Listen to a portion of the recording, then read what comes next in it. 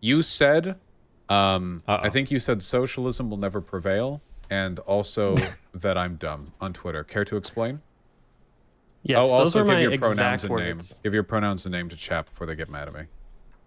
Yes, yes. Um, I, I also called you a socialist lib cuck at the same time. Somehow you can be both of those Mm-hmm. I feel like um, it's been known. No, so- intellectually. You know, it's fair. Uh, so okay, so let me uh, get I am this uh, straight. accountable. This Stefan dude is capable of solving ethics, but he can't solve that yes hairline. Get the fuck out of here, dude. Okay, dude, I wouldn't trust this guy to make my fucking sandwich. Fucking nerd. Okay. Wait, what is happening? Bro!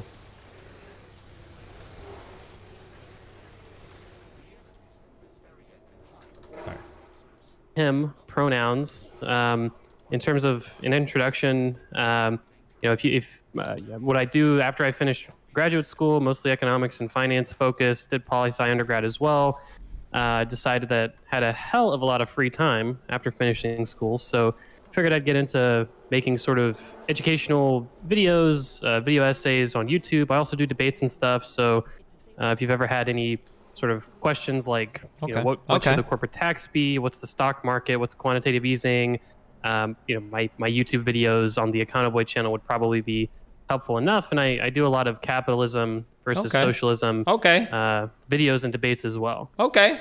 And um, I take it your position is that the corporate tax rate should be 100%. look i you know that's probably too extreme i would say 90% maybe give 10% to the corporations but you know 100% is a little extreme for my taste Wait, wh- who is this guy? Wait, what?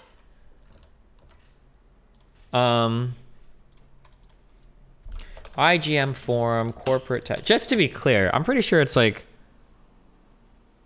Let me check. Hold on, just to make sure I'm not making bullshit up.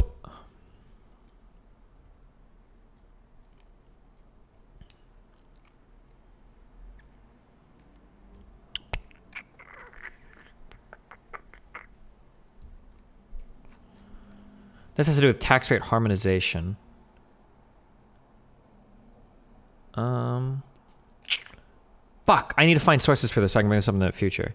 Um, I, I, I don't think that technically. Oh, they're just joking around. Don't worry about it. The differences become much more salient later on. Oh, okay, maybe.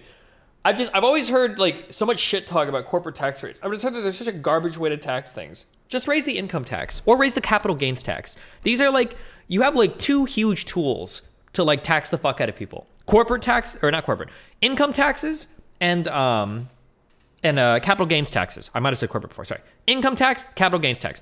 Bring those two up and go big. Why is corporate tax bad? Because it's just it's such a weird way to try to get money out of a company. Like if my company makes money, um, why why are you taxing it? Like once I start to pay that out in the form of wages and shit, then okay, like now you can start taxing people, and it works better that way anyway, right? Like why would you? Um, I just I don't I don't understand the I don't understand the rationale for taxing uh, corporate profits. Like just tax them when they're paid out or when shares are given out or whatever. Like not shares are given out when the when the gains are realized, but yeah. Vaush literally control V this take on corporate taxes at Destiny. Oh, okay. Not surprising. Okay, gotcha. Why do so many countries have corporate taxes? I don't know. It's I think they're politically popular probably. Like it sounds good to tax corporations, but All right, I'll forgive your I'll forgive your liberalism uh, for now. We'll we'll see how it pans out.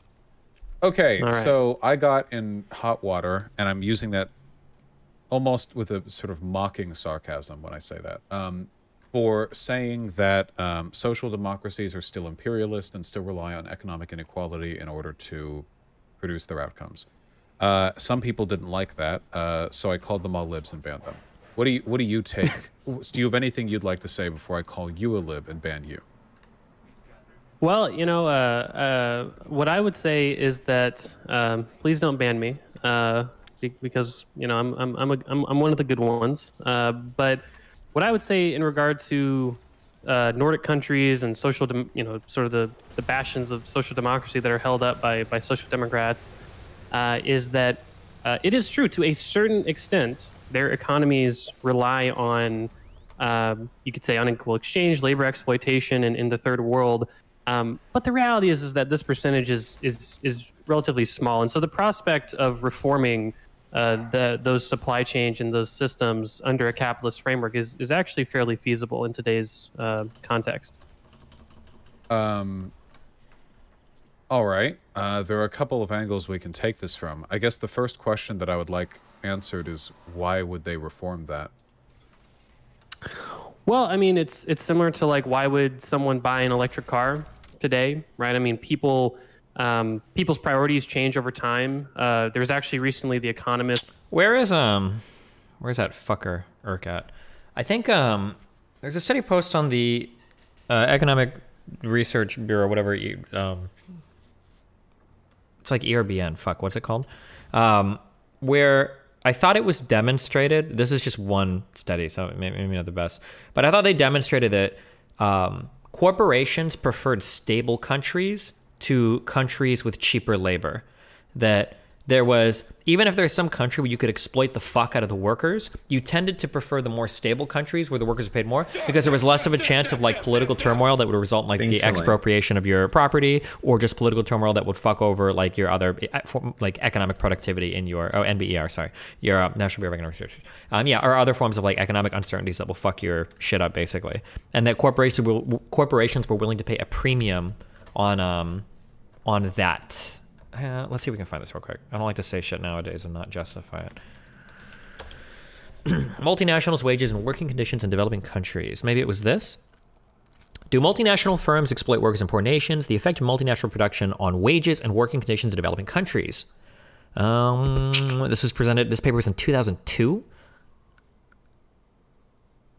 Um, these three authors offer a resounding no. Indeed, the authors conclude that there is virtually no careful and systematic evidence demonstrating that multinational firms adversely affect their workers, provide incentives to worsen working conditions, pay lower wages than in alternative employment, or repress worker rights. In fact, they argue that the opposite is true. Um, in September 2000, a group of economists, including Deardorff and Stern, formed the Academic Consortium on International Trade. It circulated a letter to presidents of 600 academic institutions, urging that greater attention be given to the possibility of mandating codes of conduct. Blah blah. this is like a summary of the paper. I feel. I think I read the. I want to say in the paper itself.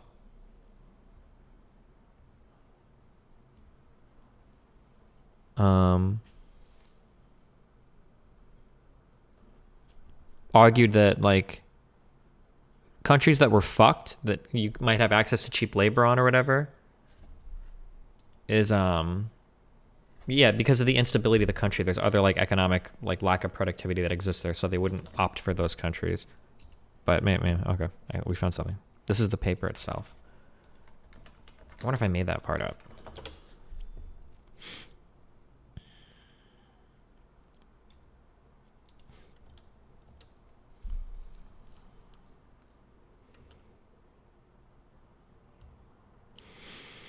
Hmm, hmm, hmm, this evidence indicates that multinational firms routinely provide higher wages and better working conditions than their local counterparts, and that they are typically not attracted preferentially to countries with weak labor standards. Introduction, political economy.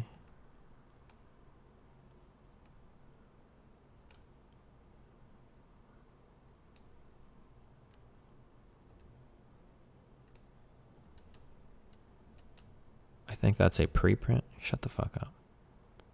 It is a working paper, though. I don't know if this was published.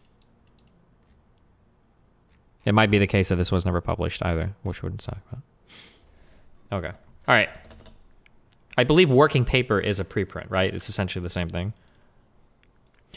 This was the issue with businesses moving to Mexico. They have strong labor standards by the Mexican GOV, but not enough power to enforce them. Maybe. just released a uh, a video. They do maybe I don't I don't want to say weekly, maybe every other week they do videos, and uh, this uh, video was called like uh, "Too Woke" or "Too Broke" or something like that, and uh, they talked about the changing investment mindset, the idea that uh, corporations are becoming increasingly pressured to be more socially conscious, and so.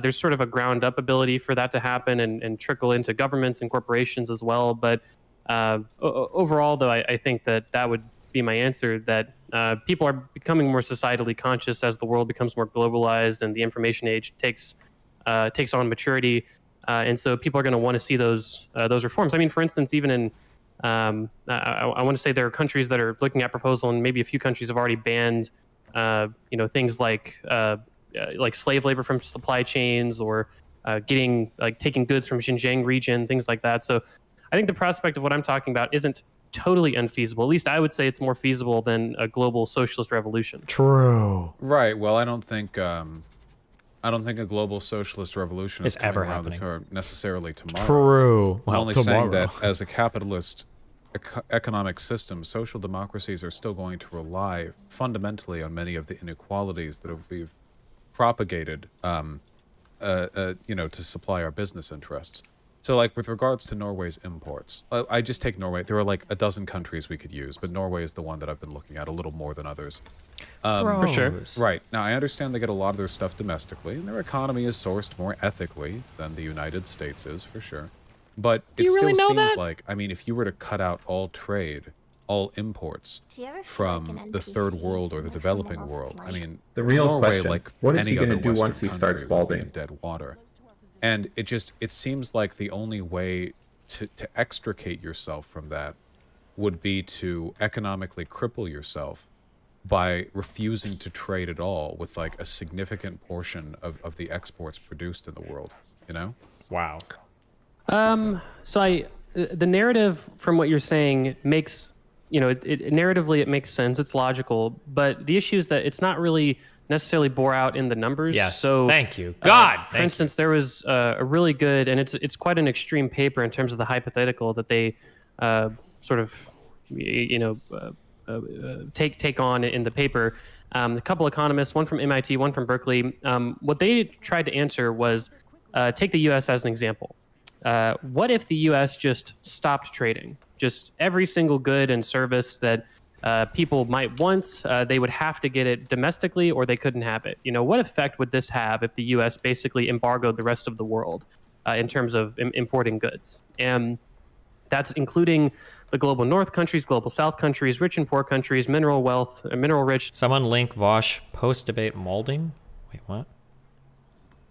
Destiny, you say tax it when they pay out income. Don't corporate taxes increase those payout expenditures because they avoid because they avoid a corporate tax rate by spending the money in the corporation and taking that as deductions. Every investment they make that is deductible is taxed somehow. No, corporate tax incentivization incentivizes Amazon to raise wages, deductible, etc. That's all then taxed. Well, the um, the incentivization for companies to reinvest money shouldn't necessarily just come from like aggressive tax policy. It should come from there being profitable, um, profitable projects to invest their money into. Like it's not like if you took all of your, um, it's not like if you took all of your money and you got rid of taxes that it's like okay we're not going to grow our business anywhere we're just going to sit on this money and do nothing you should be investing anyway right service rich countries. Well, what they found was that uh, between 2 and 8% of GDP would be lost if, if the US totally and completely shut down its borders. Now, if you consider that the whole entire world, uh, about, you know, I, I did a video on this about two and eight 5% of the american gdp Yes, just America as, as an example. But to speak a little bit more broadly, uh, about about five percent rounding up of the economy in the world uh, of the global north, I should say, not the world, uh, is based on imports from the global south. About five percent, and so uh, even in the calculate that? extreme. how do you calculate Well, because we, we have uh, That's what you're doing data, right? right? There's there's data on how much uh, imports are from what country. Is he acting like this is incalculable is that a word calculatable incalculable incalculatable beyond calculation i mean and where they're going to. Uh, and obviously, we have a classification for global south and north, and so uh, you can you can calculate it uh, with a with fair ease. Uh, obviously, your season stuff, but you know it's it's it's all out there. but Now, now, we- re- really quick, what I was gonna say. it's worth by its cost though because like the argument that i would make then is that it's undercosted in those areas that's the reason why we put all the trouble into engaging in neo-imperialism you have these foreign countries where we do rely on this stuff they bring in and also just because it's a small portion of our gdp doesn't mean it's unimportant you know maybe 2% of our gdp goes towards lumbering but you can't cut that out the economy would die without that it's not like it's not like 2% off the top, right? It's it's 2% out from a critical industry. It's like the difference between saying that you're you know, you're removing like the roof tiling from a house or you're removing like a a, a like um you know, like a load bearing pillar. Like how much of a percentage of our GDP goes into like rare earth mineral stuff, like lithium, right? But if we didn't have any of that, even if it counted for just one tenth of one percent of our total GDP, we would be fucked, right? So it's it, it clearly relies on more than um, just that. It's a good counter argument. Not not necessarily. So we we to a certain extent we would be fucked if we didn't have lithium. That's true, but most every good has some sort of applicable substitute. So you're talking about like lithium batteries for for whatever use you might have. Obviously, you can use nickel, you can use cobalt, um, things like that. Um, Not now that's batteries. just a you need you need lithium, right? That's the modern battery Well, that we use. No, no, that's that's true, and I, I don't want to get bogged down in an incredibly specific example, but um, it's just a matter of like what they took into account for their analysis is is the substitutability of trade. So the idea would be that, and this is why they give a range, so two to eight percent. Now, uh, if if if goods are incredibly substitutable, right? If if basically if if the U.S. produced the goods that we get abroad, but domestically, uh, given the amounts that we have domestically, uh, how, how substitutable are these? If they're incredibly substitutable, gains from trade are actually very low. If they're not very substitutable, gains from trade are very, very high. Because if we can just substitute things out, well, we don't need to trade. If we absolutely cannot substitute things out, we, we absolutely need to trade. Now, the point that I was going to make is that it is true that arguably it's a naive and sort of shallow analysis to just look at trade accounting to answer this question how reliant is the global north on the global south? But i think that you can also look at the actual specific question. You can look at unequal exchange right? Which is how much lower are you know sort of uh, the importers basically. You could say the importers but how much lower are the people in global south nations being paid relative to their production? Wait, real quick. Why can't I see my mining of the other that rare shit? Or it seems like it's really shitty the data on your like I have to go I have to bring up this menu, then I've got to go to this menu. Then I've got to scroll down here to see like how much hazelnut I have. That's kind of weird. Am I capped at 1500? How do I increase that storage? It's kind of weird, but okay. relative to the production of workers in the global north. The difference is unequal exchange. And even that specific number, obviously it's even less because it's specific. It's only 3 or 4% of GDP. That's in the video when you when you start arguing with your chat about people citing the 3%. That's what they're talking about. They're talking about actually the specific amount that is transferred in wealth in terms of they have this much productivity, but they're paid less for it, you know, for some structure, some other reason or another. It's only, it's only about three, four percent of, of GDP, which uh, the so last wait, thing I'd say. Three to four. Sure, go on. Three to four percent of our GDP is accounted for by the relative gains that we achieve by relying on the lower pay that we can get in those developing countries. Real quick before we go on, um, comparative advantage does not necessarily rely on some exploitation. It might be the case that Samantha builds chairs quicker and better than Jonathan does. So if I outsource my chair production to Samantha, I can build IKEA sets way quicker and for way cheaper and at way higher quality than if Jonathan does it. Now, just because I'm getting a comparative advantage, meaning they can produce something more efficiently than I can, doesn't mean I'm exploiting them. It might be that for a variety of reasons, they're just set up to excel in that particular area. Just because you are getting an advantage, fuck. Trade is not zero sum. Nothing, very little, very, almost nothing in economics is a zero sum exchange. It is entirely possible to have these mutually beneficial exchanges. Yeah, a comparative advantage might be something as stupid as your location, right? I can't grow I'm not even gonna give an example because I don't know anything about like what can grow where. But like some plant that I could grow, you know, near the equator, I can't grow in Alaska, right? There might be a greater uh, comparative advantage in growing something in another place. Or when it comes to shipping goods, right? Growing or producing or manufacturing certain goods near really popular trade routes on, you know, on um, on coastal lines near oceans or, or um, into seas or whatever. You know, that might be a comparative advantage. Um, there's all sorts of things that might make it so that trading is preferential with a certain partner that isn't just you're exploiting the weakest and lowest of those workers, you're ripping them off, you're stealing from them. And it, it's not that one dimensional, okay? That's such a naive way to look at things. Ugh, Sorry.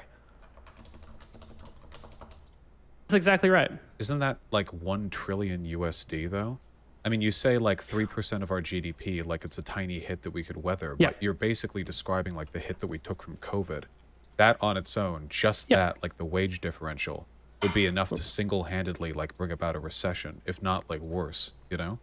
No, no, you're you're absolutely right. That was the second thing I was going to say um, w- w- when you jumped in, uh, which was that uh, it's absolutely the case. You know, if you look at global North GDP uh, over time, what you'll find is that uh, we lost about anywhere from you know three to four percent of GDP as a result of the COVID downturn, a little under three percent of GDP as a result of the previous recession, 2008, 2009. So, the idea of overnight getting rid of literally all unequal exchange is uh, it would cause a recession, but the idea that you espouse and that a lot of socialists espouse, which is that um, it is unsustainably the case that nations in the global north could they could never reform out of this. It's just not true. Even if they did it tomorrow, you know, flick your hands and all unequal exchange is is, is gone and there's worker parity across the world, um, you'd, you'd get a bad recession, uh, but we'd make it out of it. We've had worse recessions before, um, but also that's not what anyone's advocating for. The reality is what most people would advocate for is change over time over, you know, 10, 20, 30 year period, uh, you know, similar to any sort of reformist. And that would, of course, depress any sort of, uh, you know, absolutely destructive effects of, of getting rid of unequal exchange. The the the issue that I have with this is twofold. Yeah, take him out, First of all, I don't think it's theoretically impossible to do without it. I just don't think capitalist countries will do it. Capitalist countries have a long-standing history of engaging in some pretty nefarious behavior if it maintains the interests of their business console. I mean, it seems like it seems like if I were to defer to history, you know, like we're talking about countries that uh, I think the CIA has literally overturned democratically elected leaders. I mean, we've invaded countries in large part because it, you know, benefits our business interests, because it makes us wealthy, because it transfers wealth from their country to ours. We'll install leaders who are okay with the economic changes we enforce on their nation. The World Bank and the IMF serve as the neocolonial arms of regime change, where we say they can get the money they need to build up a when lefties bring this up, I really, really, really want more detail because never, never, never, never, never has any historical example that I've dug into ever been that simple. Hey, here's a country, democratically elected leader. Um, the country is going well. Everybody's happy. Everybody's doing great shit. And then all of a sudden, the CIA comes along and fucks it all up. God damn it. That goddamn CIA. Like, it's always more complicated than that. There's always more um, going on with that. I feel like, yeah, the CIA and the IMF are. Um, are are always like these it's like the it's like the right wingers version of the FBI and the NSA who are like always domestically spying on you know right wing groups and shit. Um, yeah, I I- wish that they would bring up here's let's go through some concrete examples because usually it's a little bit more complicated than just saying um, the CIA ruined everything, you know. But okay. a country, but only if they neoliberalize in ways that make them good targets for us. So, I, so it's it's it's not about like is it impossible to do this? It's about whether or not it's gonna happen with the incentives that we have right now. You know, um, but uh, but I also want to add to that as well. I'm still I'm not convinced by this whole like which percentage of the GDP accounting narrative thing, right? So most of the GDP here in America doesn't come from manufacturing or imports. It comes from the service economy. That's like two thirds of our economy right there. So you say that like if we cut out all goods from China, which is about a half trillion dollars a year, you know, if we didn't import anything from them, and that's just China, that it would only account for like 3% of our GDP. Okay, but those are goods we're bringing in. Maybe it accounts for 3% of our total GDP, but how much of it does it account for the GDP related to the actual consumption and use of physical things that we bring in from the rest of the world? If He's so he's hitting on something that's pretty true, um, and I think this concept, this gets a little bit more complicated. Um, he's probably heard it of a, in a Destiny conversation. Ah. So um, there's a concept called specialization of labor um, or division of labor, And I think sometimes what happens is, is if you engage with a, another country for trade, so if you export part of your supply line to another country, it allows your labor to increasingly specialize, which means um, some group of employees that would have been able to produce some economic gain or whatever can now specialize further and produce even more because you're trading with another country um, in, some other thing. Um, I, I believe this is true. I don't know if it's necessarily that simple, but it hits on something I'm pretty sure that's true.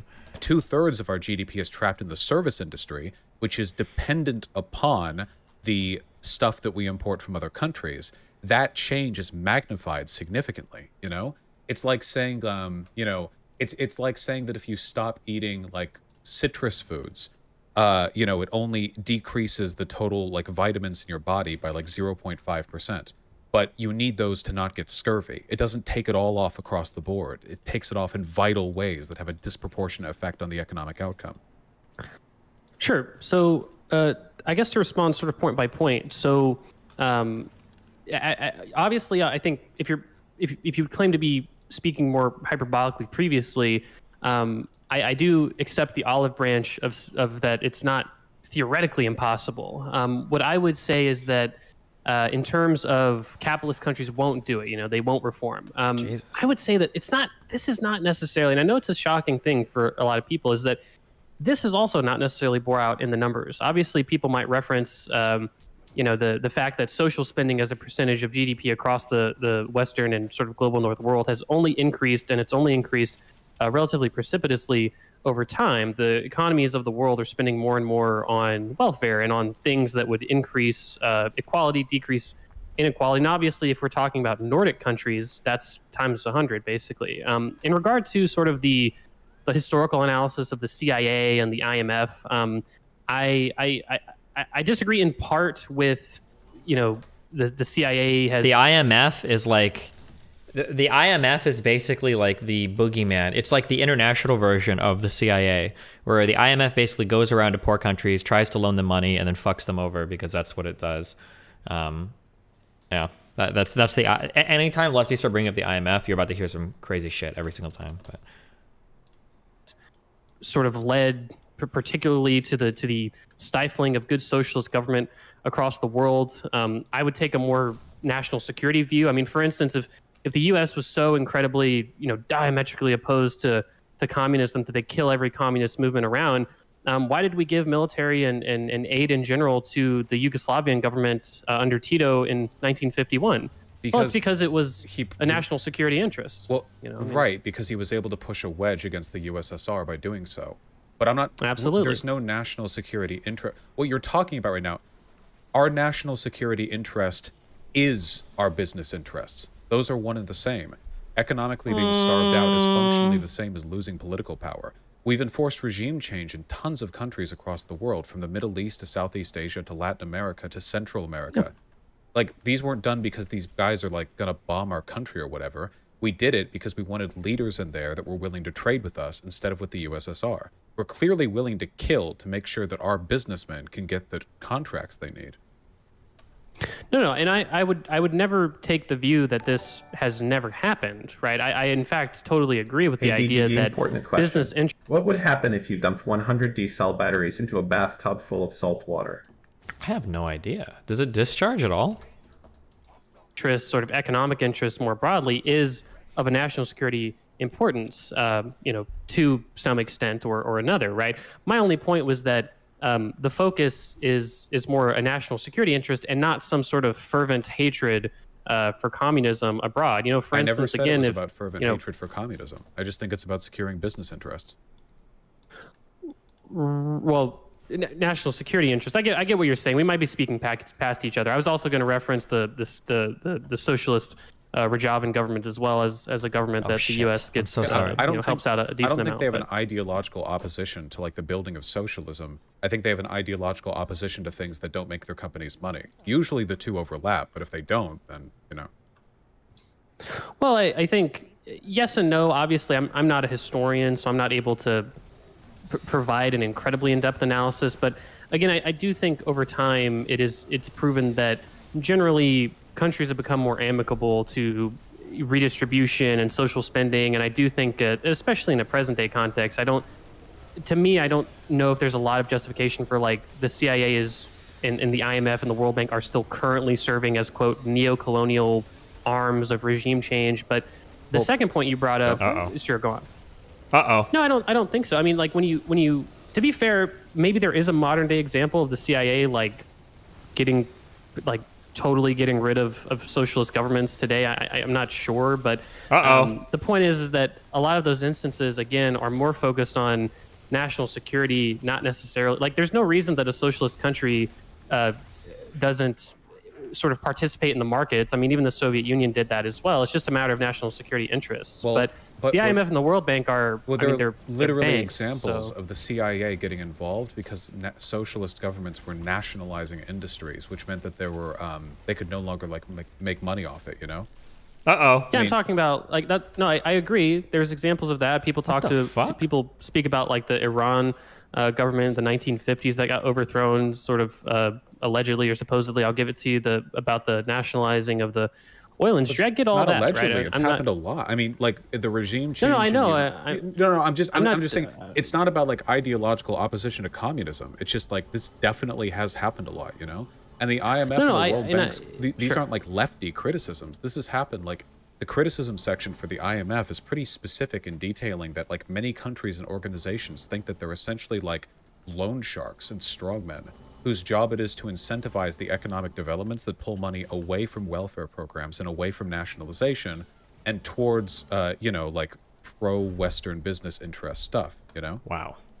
Well, it, it, it depends, right? So, again, I, I'm not going to disagree with some of that historical analysis that, yes, the CIA and the US government uh, more broadly, or the global north even more broadly, um, have engaged in nefarious practices that have stifled um, ostensibly communist countries. Obviously, there's you can argue about Vietnam and Soviet whether they're communist or not. Whatever. I mean, you get what I'm saying.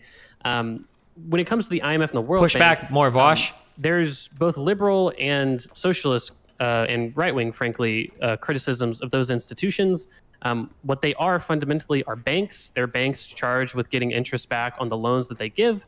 You only need a loan from the IMF or the World Bank. Um, the World Bank less so because they do more development aid, but you only need a loan from the IMF if your if your country is in relatively dire financial straits. Um, and so the idea of the IMF instituting conditional financing so that they can get their money back on their loans.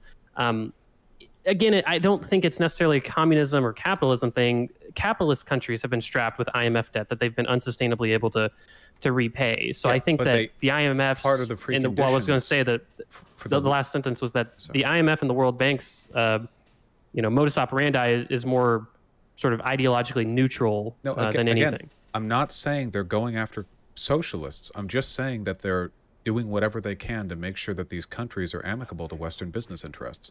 They'll do that to capitalist countries too if they need to. They would they would do it to us if they needed to. Um, but th- there's a Well, wait, precondition for when you say loans amicable to Western business interests, what do you, what do you mean by that? You Because when I, when I think of like about the getting someone to pers- repay a loan, I mean, bribe, right? you know, But, Well, they, they Well, offer financial assistance on yeah. the condition that you liberalize your economy, which means that you open it up to the kinds of systems that allows the West to take advantage of them. Damn. Um, you, you'd have to give some Imagine how like evil it is that you're trying to make somebody liberalize their economy by giving them access to Western markets while simultaneously saying a blockade exists in Cuba because they are unable to access Western markets. really makes you think.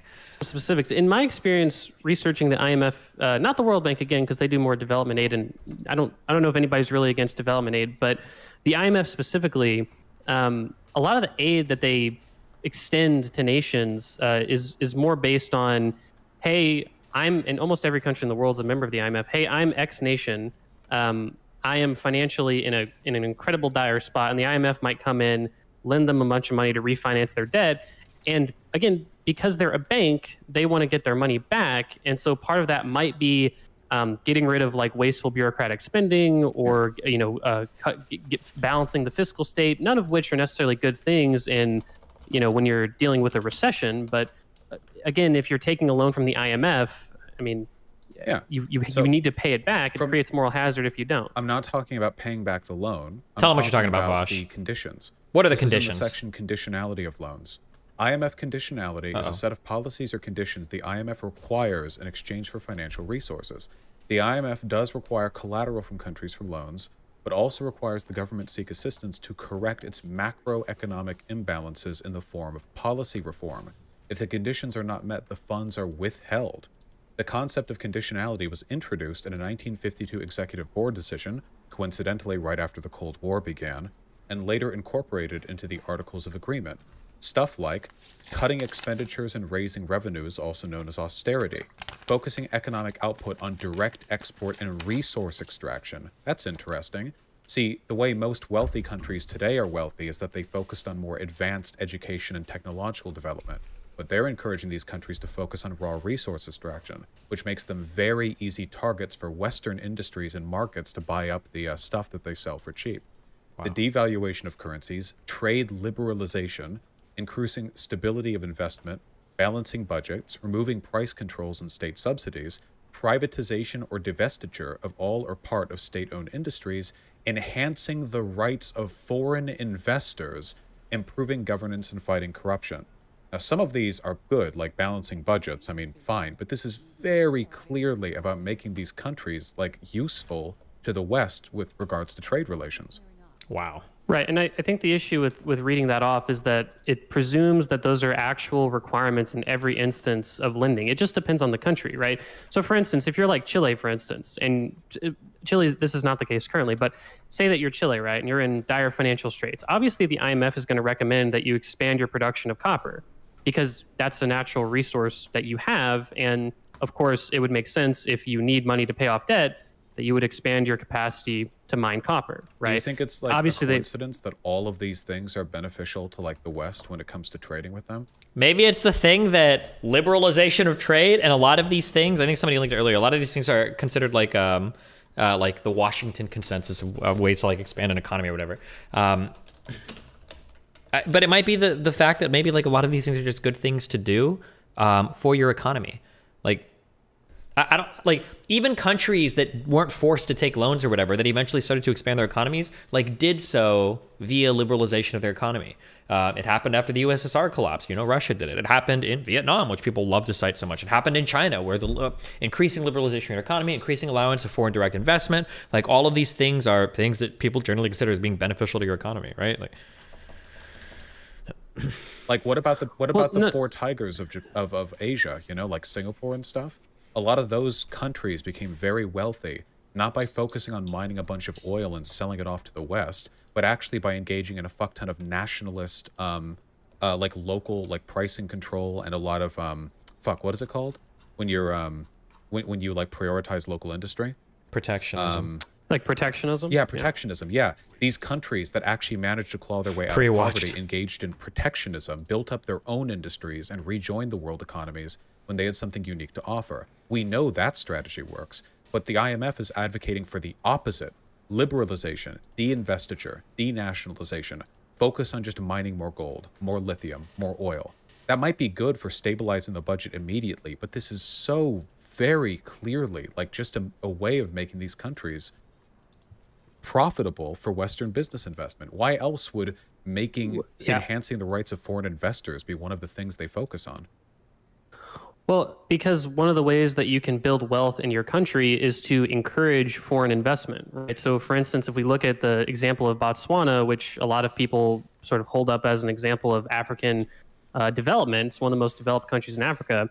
Uh, what the leaders of Botswana did after uh, the current party in power actually first took power, which I think was in like the 1950s or something like that, um, what they did was engage in a lot of foreign investment and public private partnerships to develop their natural resources and retain a large part of that wealth. And as a response to that private investment and good governance and sort of anti corruption policies of the early governments, uh, Botswana is the most, uh, arguably, the most developed country in Africa. I mean, you mentioned the four Asian tigers. Um, a, a a significant part of all of those countries' economies is looking outward trade. Now, if you want to make, if you want to have an argument about the uh, domestic uh, sort of production capacity and protectionism, if, if you're more in favor of protectionism or something like that, that's not an unreasonable argument. Destiny, to be fair, there is a phenomenon where resource-rich places have a hard time growing. Yeah, there's a name of this. It's is it like the resource curse or the curse of oil or um, there's a, there's like a name for this. It might just be called the resource curse. But yeah, a lot of countries that are rich in natural resources have. But I think that some people are critical of this because it's not very explanatory. It just there just happens to be a lot of countries like rich in natural resources that are also fucked um, for other reasons. And also, I believe there are countries that are rich in natural resources that people don't think are. Like the U.S. has a lot of natural resources and shit, um, and I'm pretty sure there are a lot of like Norway has a lot of natural like oil and shit. Uh, I'm pretty sure there are a lot of first world countries with I shouldn't say first world in a sense, but a lot of like super developed countries that have a lot of natural resources as well. We just don't think of that as much, but I don't know. But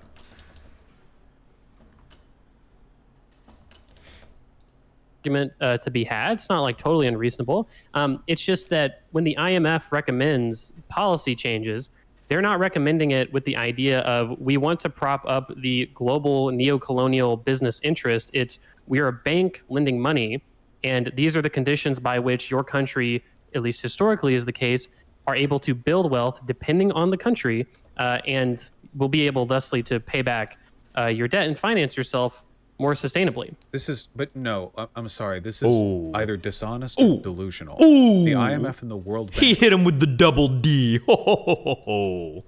are clearly economically partisan organizations. They have been widely criticized for not actually engaging in the kind of policy prescriptions that make countries better. In fact, the universality of their conditions is one of the things they often get criticized for. They don't take into consideration what's good for that country. Instead, they just apply a blanket set of pro Western business interests. I'm not opposed to trade, but Botswana is an interesting case for you to cite because their economy is all diamonds. What do you think is going to happen when the world demand for diamonds falls off? That country is going to burn. Botswana's entire economy is dependent on making sure that global diamond uh, uh, trade and demand is high. The United States is not. South Korea is not. Countries with strong, robust economies don't rely on the export of a single rare material. We saw this happen in Venezuela. Whenever you focus your economy on the export of a single commodity, if prices crash, that's it. All your people starve. Botswana has Just to be clear, that is not why Venezuela's economy crashed. Venezuela has a whole bunch of problems endemic to itself related to corruption, inability to run their um, inability to run their like fucking refineries and shit. Venezuela has lots of problems. It was not the collapse of oil that caused Venezuela to have so much issue, so many issues. built itself a strong economy. It's just riding a bubble for as long as it has diamonds, and diamonds sell well. But that's not the same thing. Like, 10 years from now, you realize Botswana might end up being the next Venezuela, right? Like, the next thing people look at and go, oh, well, they should have diversified. Well, no, not necessarily. So the answer is theoretically yes. I'm, I'm certainly not being dishonest when talking to you, and I'm not defending the IMF necessarily. I think I have my own criticisms for the IMF as well. In the, in the video that I made about the IMF, uh, one of the final points that I made was that y- indeed you can hate the IMF and not like what they do. It's just that you should do it for the right reasons, right? Conditional financing is bad, not because it stifles socialist government uh, abroad, but because when socialist governments get in financial trouble and they go into a recession, they don't necessarily need to cut spending further. Everyone agrees that austerity is bad, but IMF is not concerned with. Well, if I can finish, the IMF isn't necessarily concerned with sustain. Uh, how do I put it? Um, getting these countries out of recession. They're concerned with countries being able to sustainably finance themselves and getting their money back on their loans. They're a bank. They care about they care about making these countries ripe for liberal investment. That's why all of their conditions are amicable to that. Otherwise, they would not focus on some of the stuff that they focus on here. I mean, Wow. it's it's it's so clearly Big like, claim. we get- Thrown down. Adjustment policies usually includes. We talked about privatization and divestiture. You know, um, and uh, uh, um, making things easier for, for foreign governments, reducing government expenditure and government employment.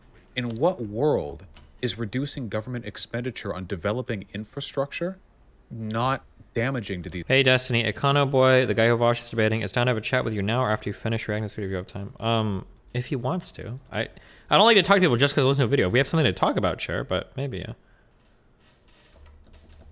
these countries. Every successful country in the world today spends a lot of government money on building out infrastructure, on securing basic provisions for existence, but they encourage you not to do that because they don't care if these people have an educated population. They care if they have a population that's hung that's well fed enough to work in the oil rigs or the diamond mines that they can then sell off to Western businesses. Botswana is wealthy because De Beers and those other diamond companies in the West uh, uh, uh, uh, buy up the products that they sell.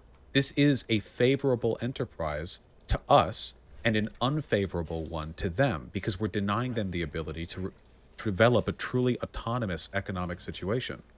Like we're, we're just Well, relying no, on I- raw resource extraction.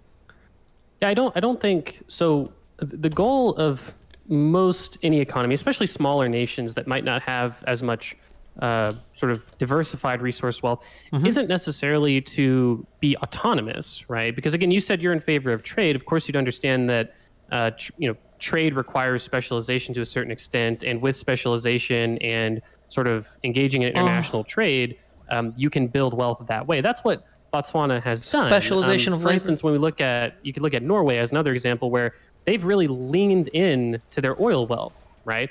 Now, what they've done is taken a lot of that wealth and put it in a social wealth fund, diversify that wealth fund, and then put that money right back into the economy in the this is, form this of is, you know this is not many different investments. It's not diamond comparable. prices Yeah, go shut 'em down, down. Botswana crashes. If oil prices go down, which they have, Stop stuffing Norway has a fucking mouth. diversified economy that can survive because Norway is in the I wonder what, what. Okay, how do you even Botswana? I don't know. How to, Botswana Wikipedia. No. Economy.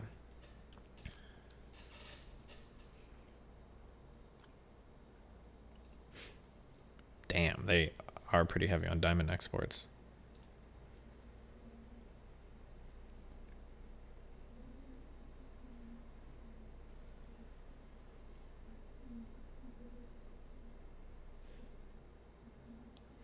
This country has earned the highest sovereign credit rating in Africa and has stockpiled foreign exchange reserves over $7 billion in 2005 2006, amounting to over almost two and a half years of current imports. This is a pretty dated article, if it's going back that far.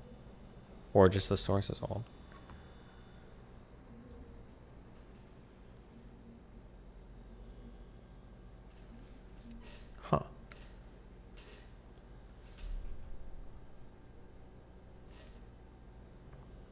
No petroleum reserves identified. Sucks.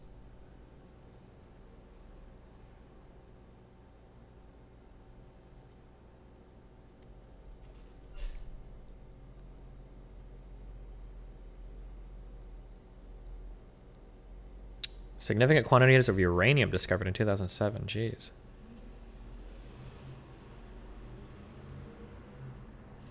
Okay.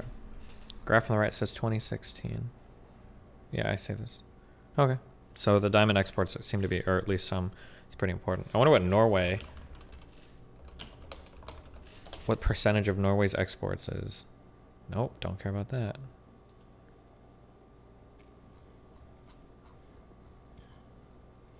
You're not going to show me a pretty export graph, are you? Oh, jeez. Damn.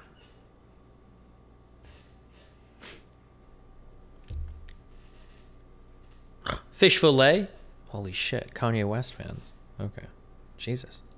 imperial core where we apply economic policies that make sure we survive, that prioritize our growth and our development, whereas Botswana is in the imperial periphery, which exists only insofar as it is useful to our businesses, and we couldn't give a damn about them otherwise. Couldn't give a This damn is about exactly them. the same thing that China's doing, but they're better at it.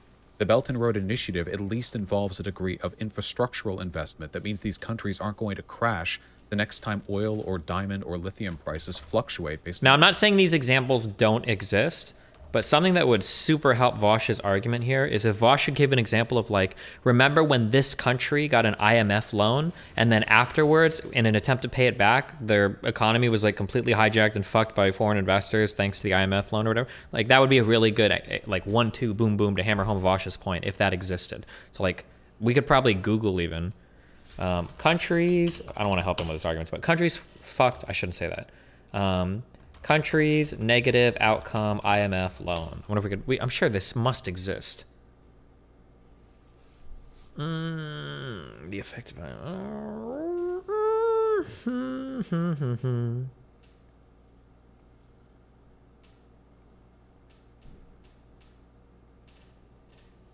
When a country failures on an IMF loan, foreign capital usually flees that country.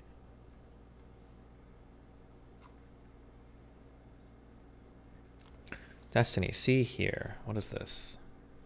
Somebody linked me. Debt, the first 5,000 years. A brilliant, deeply original. Did you really just link me a 540 page book? Thank you, the real Chris Rock. You're just, you're a genius, my dude.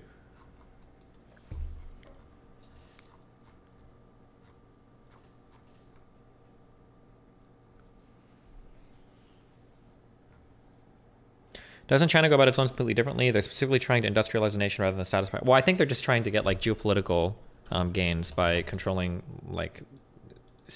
Can I say seafaring ports? Are all ports seafaring? in the next recession. We have to be like thi- this is this is a- an incredibly inequitable exchange. In the earlier in this convo, you talked about how the U.S. could like shrug off no longer trading with China, which I disagree with. But at least we do have a diversified economy. Well, they don't didn't say that, have to be that. fair. Okay, but they don't have that luxury. These other countries now, South Korea does, Singapore does. They could do that because they have diversified economies, but Botswana could not. They I mean, it's probably going to take a while, and right? totally Like, which means that we can do anything we want to them because they have no Well, uh, recourse. wait, what? Do A- anything again, we want? What does he mean by that? Well, to be fair, again, I, I don't think Botswana is absolutely singularly a diamond economy. Of course, they're diversified to a certain it's extent. sixty-two percent of their of their exports is is diamonds, and the majority of their GDP comes from the wealth they gain from exports. A lot of other stuff that they sell, like up to eighty percent in total, alongside the diamonds, is stuff like nickel. It's uh, other I didn't wanna- earth minerals and metals they mine up. Harvest this yet? God damn. Yeah, yeah, no, I, I'm not. I certainly wouldn't take the position that uh, diamonds are not a significant part of, of the Botswanan economy. It's only it's only the idea that uh, the argument that you're making Oh is God. more or less. Uh, how do I put it? Um, like, essentially, the argument that you seem to be making is that uh, Botswana's economy is bad, and though they have built a lot of wealth from their diamond mines, um, it is not necessarily the most sustainable because at some point maybe diamonds become worthless and all of a sudden a third of their economy just gets wiped off the map because they've not diversified. Um, now, to a certain extent, that's true, but that's why I bring up the idea of uh, like Norway, where they have taken advantage of their resource wealth very much so, and they've diversified it, arguably in a more responsible way than what Botswana has done. Right now, we can make sort of these arguments about uh, you know, Botswana's economy is not as diversified. Norway's economy, maybe the social wealth fund's good or bad, whatever.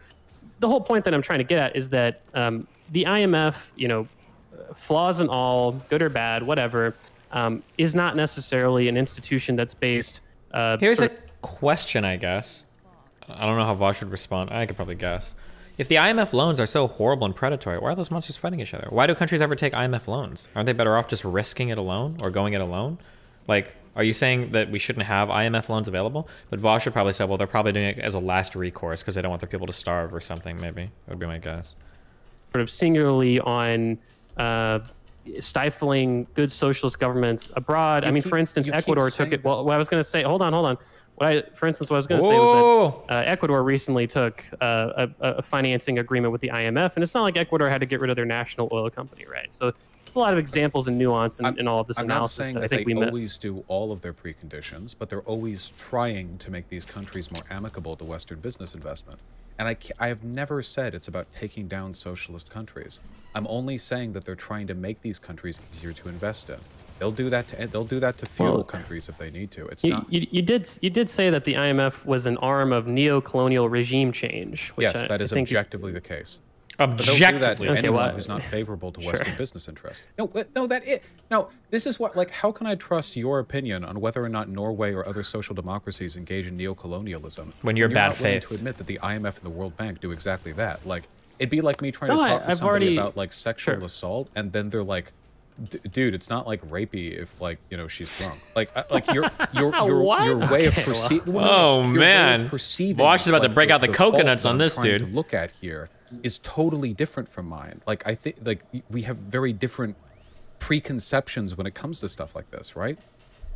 Well, sure, but I, it, it's important to recognize those preconceptions, and, and I'm recognizing without a doubt that the IMF is is not perfect. There's a lot of criticisms for the IMF to be had. Arguably, it shouldn't exist as an institution.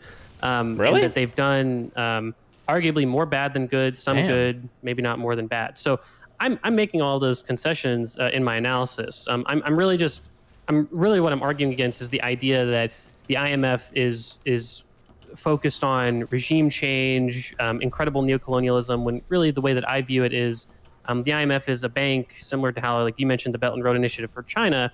Um, something that they're concerned with, of course, is their lending arrangements that include being paid back. This is why they get in all that trouble with. Uh, you hear about the Sri Lankan case with the Chinese lending because uh, Sri Lanka wasn't able to pay back Chinese loans, and that's why China gets a lot of the same criticism the IMF does because right now China is trying to get money from Sri Lanka, even though it's a heavily indebted nation. I mean, that's the main point. It's a good faith um, argument. I'm not trying to be dishonest. No, I know. It's just can I can I read this blurb from the Wikipedia? From the 1950s Uh, sure. outward, the United States doled out loans to third world nations, now referred to as least developed countries. The U.S. encouraged neoclassical and free market economics and LDCs for two reasons. One, countering the spread of socialist ideology during the Cold War, and two, as a means of accumulating wealth by means of foreign direct investment as well as interest on the loans. The immediate and stated and clear goals from the beginning of this organization with regards to the structural adjustment policies we've talked about were explicitly about maintaining ideological hegemony and by accumulating wealth. Nothing here, their, their stated goals were not helping the third world. When the fuck have we ever cared about helping the third world? When the fuck? When when has the West ever given a single shit about the oh development God, of those true. countries? Keep We cussing. God, you're so strong we right only now. care about their No. development. We don't care about those people. Beneficial to our economy. Okay, I don't understand this point of Vaush's argument. I think it's because he saw a good article on the wiki and he wanted to read it. So Vaush, I think, has maintained thus far a pretty reasonable position. And he said over and over again, and this guy's the economy boy is missing it. Vaush has said, I'm not saying that the IMF is attacking socialist countries, just anybody that we can profit from. And he, and he did repeat that several times. The economy boy keeps trying to say, you're trying to say it's an arm of, uh, you know, capitalist countries. And Vaush's like, no, I'm not saying that. But now that Vaush found like the killer paragraph, um, now Vaush is like, well, look, in the beginning, they did say they were going after socialist countries. Why would Vaush walk back to that and then validate all of the Econoboi's like prior claims, right? Um, yeah, I don't know. It seems weird. In particular, Western companies sought to gain access to raw commodities, especially minerals By the and agricultural quickly, products. where are you reading from? Wikipedia history, uh, wiki structural adjustment, hashtag criticisms. This is under the IMF article. Okay, gotcha. Go on. Yeah. In particular, Western companies sought to gain access to raw commodities, especially minerals and agricultural products, often in exchange for capital or large scale infrastructural projects. After the run on the dollar of the 1980s, uh, the United States adjusted its monetary policy and instituted other measures so it could begin competing aggressively for capital on a global scale. This was successful, as it can be seen from the current account of the country's balance of payments. Enormous capital flows to the United States had the corollary of dramatically depleting the availability of capital to poor and middling countries. Giovanni Arrighi has observed this scarcity of capital, which was heralded by the Mexican default of 1982. Quote, created a pro- propitious environment for the counter-revolution of developmental thought and practice that the neoliberal Washington consensus began advocating at about the same time. Taking advantage of the financial straits of many low and middle income countries, the agencies of the consensus Dude, I feel like people accuse me of doing that. Which is like, now to be clear, I just want to be ultra clear. Okay, nothing is wrong with research on Wikipedia. I do a lot of my research on Wikipedia. Um, sometimes it's a place I start. Sometimes it's a place I start and end. Okay, completely, totally, unironically. Um, but this is just, it's a little funny. You got to admit. Okay, this is kind of funny. foisted them measures of structural adjustment that did nothing to improve their position in the global hierarchy of wealth, but greatly facilitated the redirection of capital flows towards sustaining the revival of U.S. wealth and power. So, like, I, I don't think I'm giving like a crazy lefty take here or anything. Like, this is the st- this this is what the org does. We don't care about the developing world. We care about them only insofar as we invest in them. Damn. Savage. Right. Well, sh- sure. I, I guess again, I, I think we're we're going to have to agree to disagree to a certain extent. I, I don't think that there have certainly been a lot of development programs that the U.S. and the global North broadly have contributed to in terms of trying to build out, uh, you know, either the resource wealth or just the institutions of other nations. Right. Why would we Um, help them you can for call their it- sake? Well, um, I mean, why do we care? What, do you mean? We well, it's sort it's sort of like saying why why do we have welfare programs, right? I mean, to a certain extent, we keep- do want to provide aid. To Sure, keep go on. our population from revolting. Why would we help? Oh them? my God! Please don't be this cringe. Why do we have Social Security? In order to pacify the elderly who could otherwise lead the revolutionary charge. Like, fuck off, dude. Come on. We even did the Marshall Plan just to keep communist ideology from spreading in Europe. Like everything we do has a Well, price tag attached to it. Oh Why my would we do something for other countries just like to help them out? The whole world is this nihilistic Well, I mean, pit of again, I- selfish you, evil. You can ultimately reduce every single thing down to like sort of an uh, amoral type, uh, egoist sort of. Oh, we, we always do everything ultimately to help ourselves. I mean, maybe that's right. I'm not really sure, but the point is, is that that's true for every other country too. I mean, when you talk about China, the reason they engaged in the Belt and Road Initiative in the first place was because they wanted to develop export markets for themselves so that they can diversify away from the global north broadly because they don't.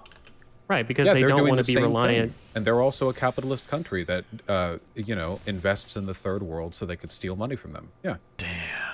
Well, right, but it, it- I guess it gets confusing when you said that China just does it better than us. Like, I guess Oh, sorry, they're Well, more effective than us because they aren't limited by the um, by the democratic process. They're much more aggressive in their investment. Whereas any investment the U.S. did, it has to be done Steve. through subsidiaries like the IMF or World Bank because U.S. citizens would never consent to having money spent on investments in developing countries because we hate them.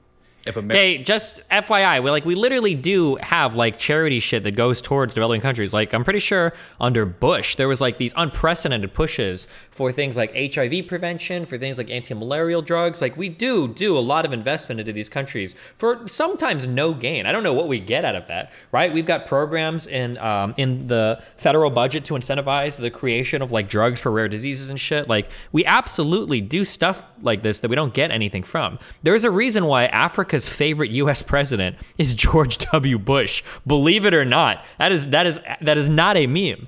Um, like, yeah, we, there, there's like a ton of foreign aid and shit that I, that's just it's it's. I understand we want to be like super edgy socialists about everything, but damn, chill.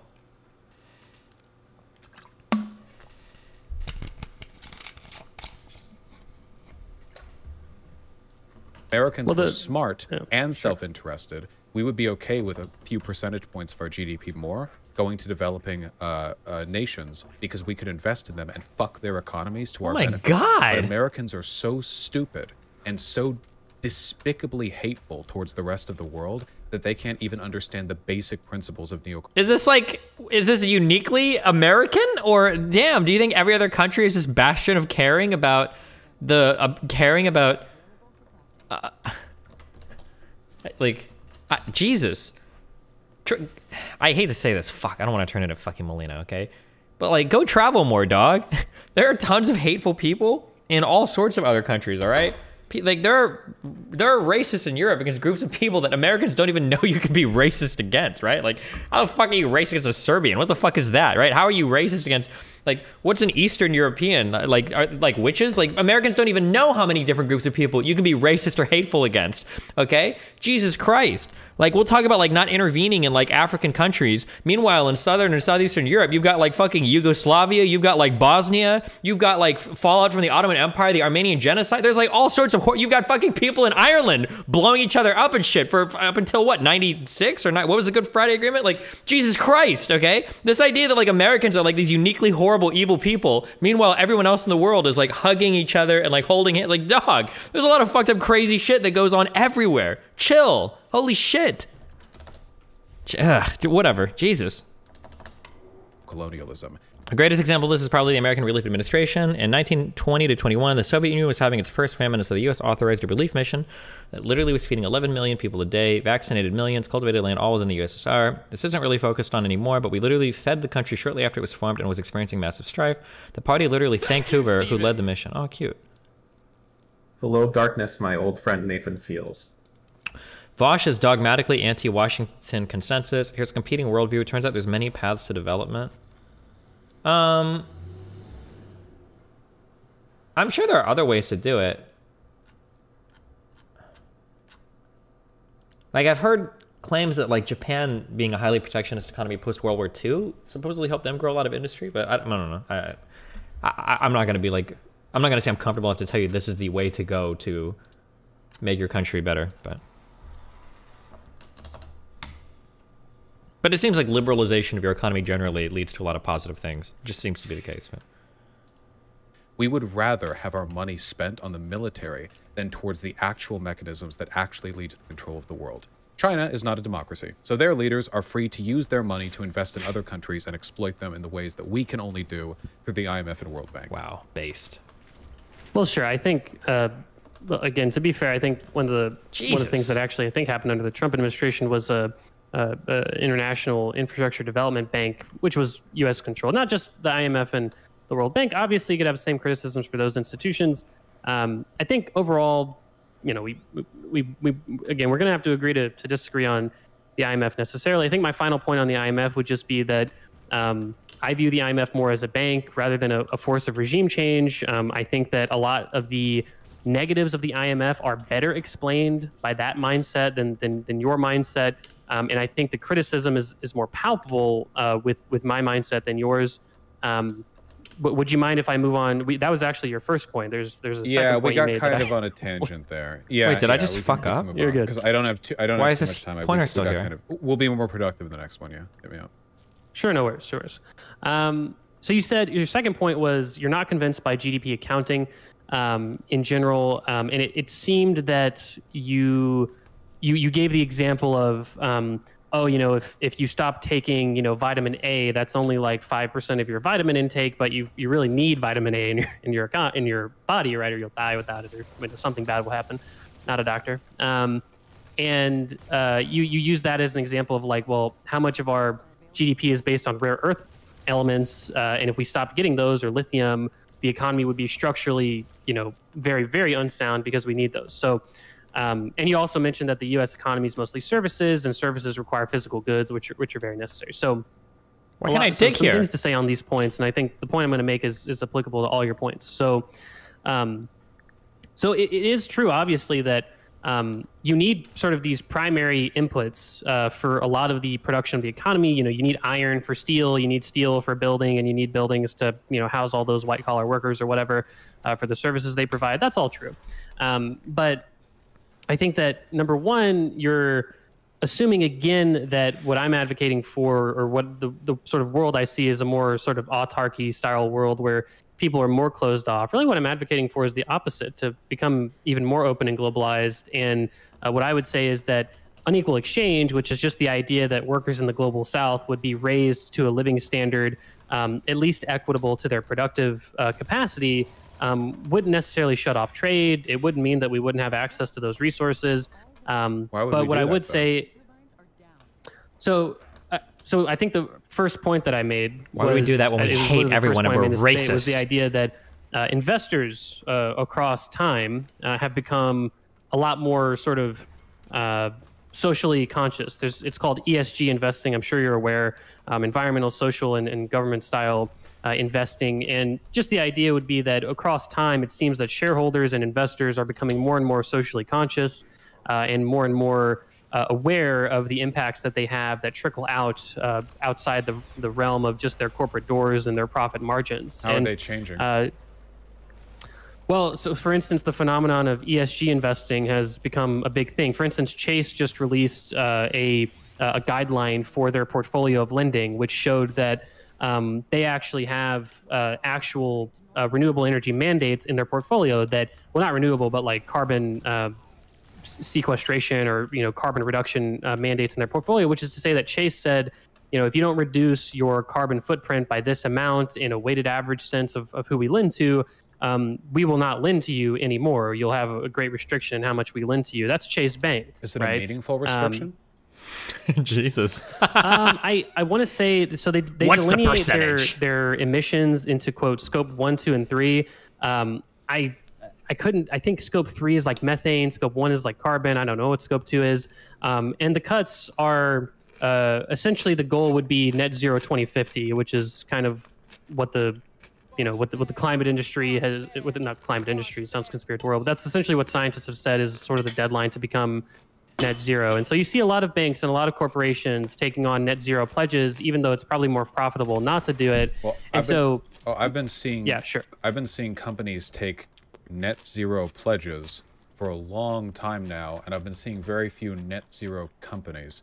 Wait, who's been taking net zero pledges for a long time? This is all relatively recent. Like, I'd say like last five to ten years. But, okay. It seems to me like this is just another way for um, companies and investors to you know, spritz up to to sort of hand wave. What would you call whitewash the harm they do? You know, like when GM had that green logo. I mean, I, I want to know like, is this pledge even legally binding, or is this just some big virtue signal they're trying to throw out there to lessen the extent of Washington Sure. regulations on climate change? Because they were hoping to convince Washington and voters that conscientious companies are doing enough. I mean, because like that's historically that's always how it's been, right? Every time companies actually have to take a profit hit in order to make the world a better place, they have to be regulated into doing it. They never voluntarily do it. They lie about voluntarily doing it, or they'll try to trick the public. The we clean coal, you remember that? I mean, Christ, we've seen this for decades. It's good marketing, but it doesn't change anything. I would need to see real actionable change being done here. How how Microsoft has been carbon neutral since 2012. Google since 2007. Is that true? That's pretty crazy. Okay. There are companies that do this. Gotcha. how long of a deadline do we have? Like, how long before I see Chase actually stop loaning out to a company because they're not meeting those goals? Why can't I dig Eventually, here? it Is never this will. glitched?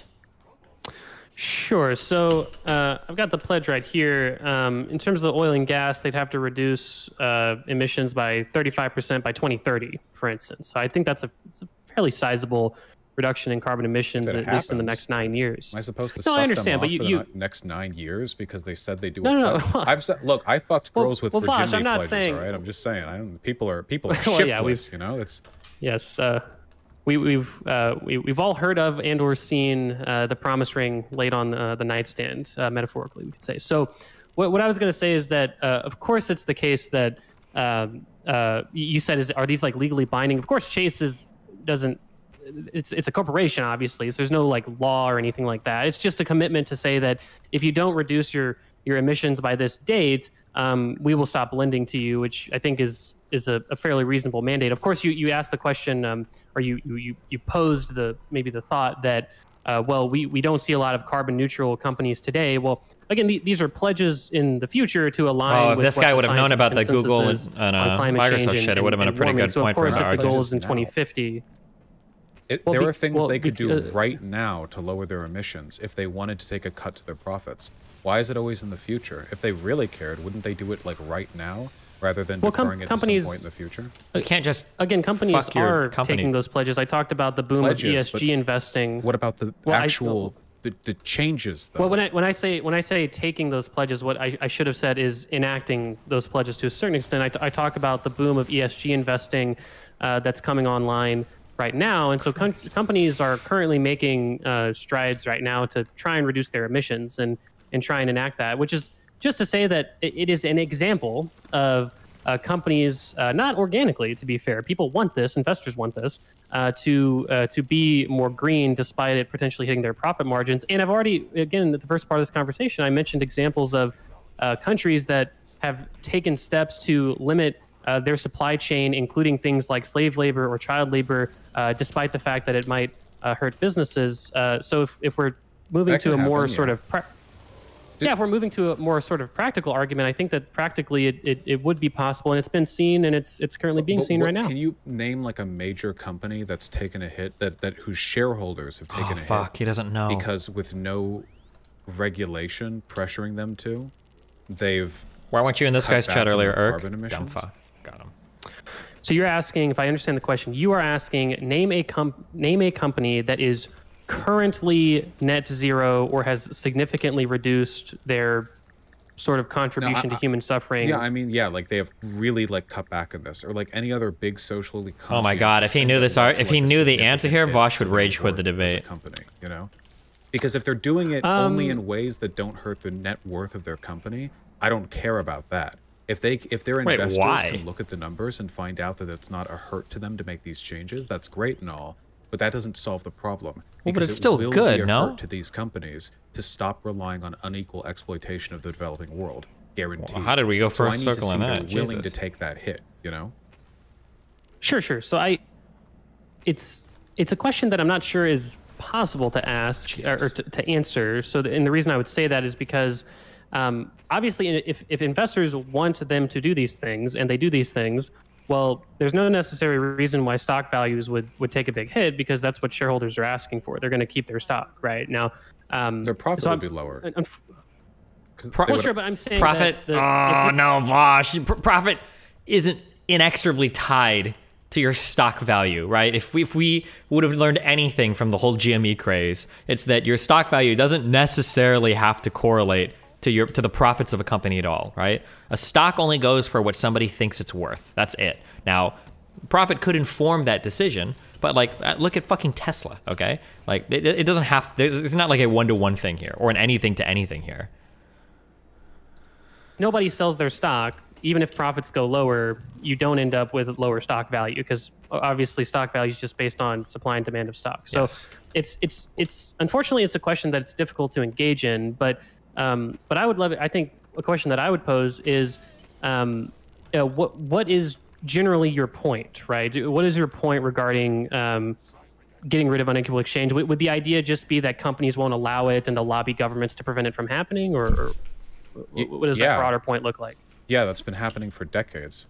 Why, why, why would they ever want? Why? broader Wait, what's point, been happening for a decades? point Sorry, hold on. regarding um, getting rid of unequal exchange. Would, would the idea just be that companies won't allow it and they'll lobby governments to prevent it from happening, or, or what does yeah. that broader point look like? 66 yeah, that's months. been happening Let's for go. decades. Street why, why, why would they ever want? Twitch. Why would? Why would? Why would investors in the West ever want changes to happen that would make them less money?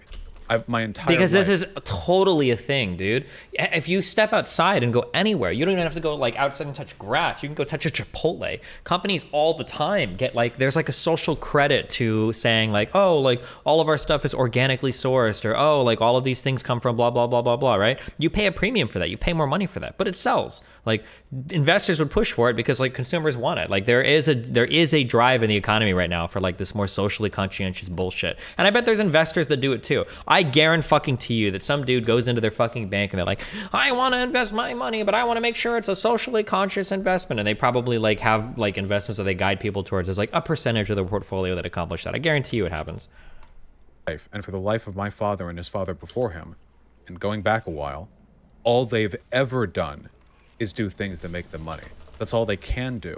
There aren't really historical examples of people going against this trend. Sometimes the people in a country, in a democracy, fight and they fight and they fight and they get regulations put through, you know? But every time the industries fight against it. When pe- when when the there were no regulations on like diesel or gasoline that choked the air of New York City back in 1927, it was not the goodwill of companies that led them to regulate like the the manufacturing of gas. People protested and Washington forced those regulations. When it came to cigarettes and the carcinogens within them, they lied for decades about it. When climate change was known back in the 1960s, the oil and gas companies lied about it for decades despite having unfalsifiable evidence that it was the case. I, you, you will, your, your idea is that we can somehow overwrite this near ubiquitous trend of economic interests playing out with no concern to externalities, which is in this case the, the third world, you know, Wow. uh,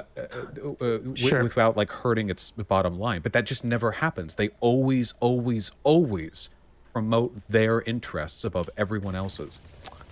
Well, sure. So I, I- I may have misunderstood the, addition, the initial question. So when you asked um, why would they uh, sort of get rid of unequal exchange, I thought you were talking about more on the company side. Now, obviously, the government regulation plays a big role in you know pushing sustainability and things like that. I think you've got a bit of a contradictory narrative where um, sort of on one hand you've got companies that are lobbying government, preventing all this good action from happening, but then well, we do see a lot of environmental regulations, and we do see a lot of sort of sustainability pushes and What investment environmental in regulations? What? well, Do I you mean, the entirety of the EPA and everything that they do. I mean, take the Clean Air Act that reduced emissions or sort of uh, air pollutants significantly in the United States, right? I mean, you might argue that like the coal Or the lobby banning of someone, CFCs whoever, and, like, the um, repairing you of the, uh, ozone layer, that or right? something, but it ended up getting The worst part about these argument here is that he's making the perfect the enemy of the good. Companies reducing carbon emissions any amount good. Sure.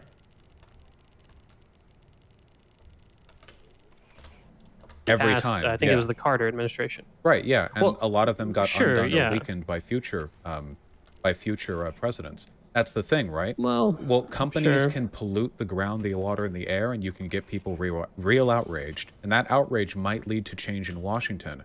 But how long before the people forget? You have clean air and water for long enough, and people start to forget. Public interest drops off. You know whose interest never drops off? Shareholders. Because while the public may have fought for X or Y 30 or 40 years ago, Eventually, they'll get old and die, and a new generation will be voting. And who's still there waiting for those people to forget?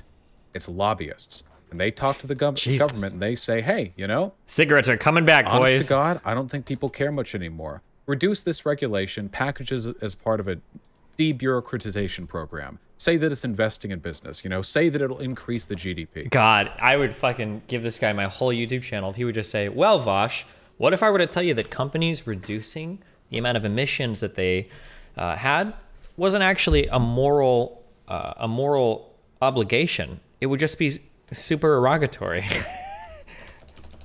Fuck, it would be so good. and then they go ahead and do it.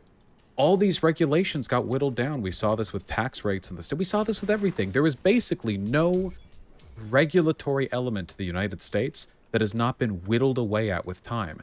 Corporations have an interest and an incentive to be permanently politically engaged. The people only react to what they can see and feel, and they will never see or feel what's happening in the third world. We spend billions of dollars promoting a completely insular media space where we are utterly removed from the consequences of our economy to the rest of the world. So I, I think uh, it seems like your narrative would imply that environmental regulations are strongest uh, when they were originally proposed and passed. And I don't think that anyone would say that the EPA, when originally conceived under Nixon or under the Clean Air Act when Carter passed it, is the time in which the United States had the most environmental and most robust uh, regulations, right? Of course, these regulations. Chipped away at Sure, go on.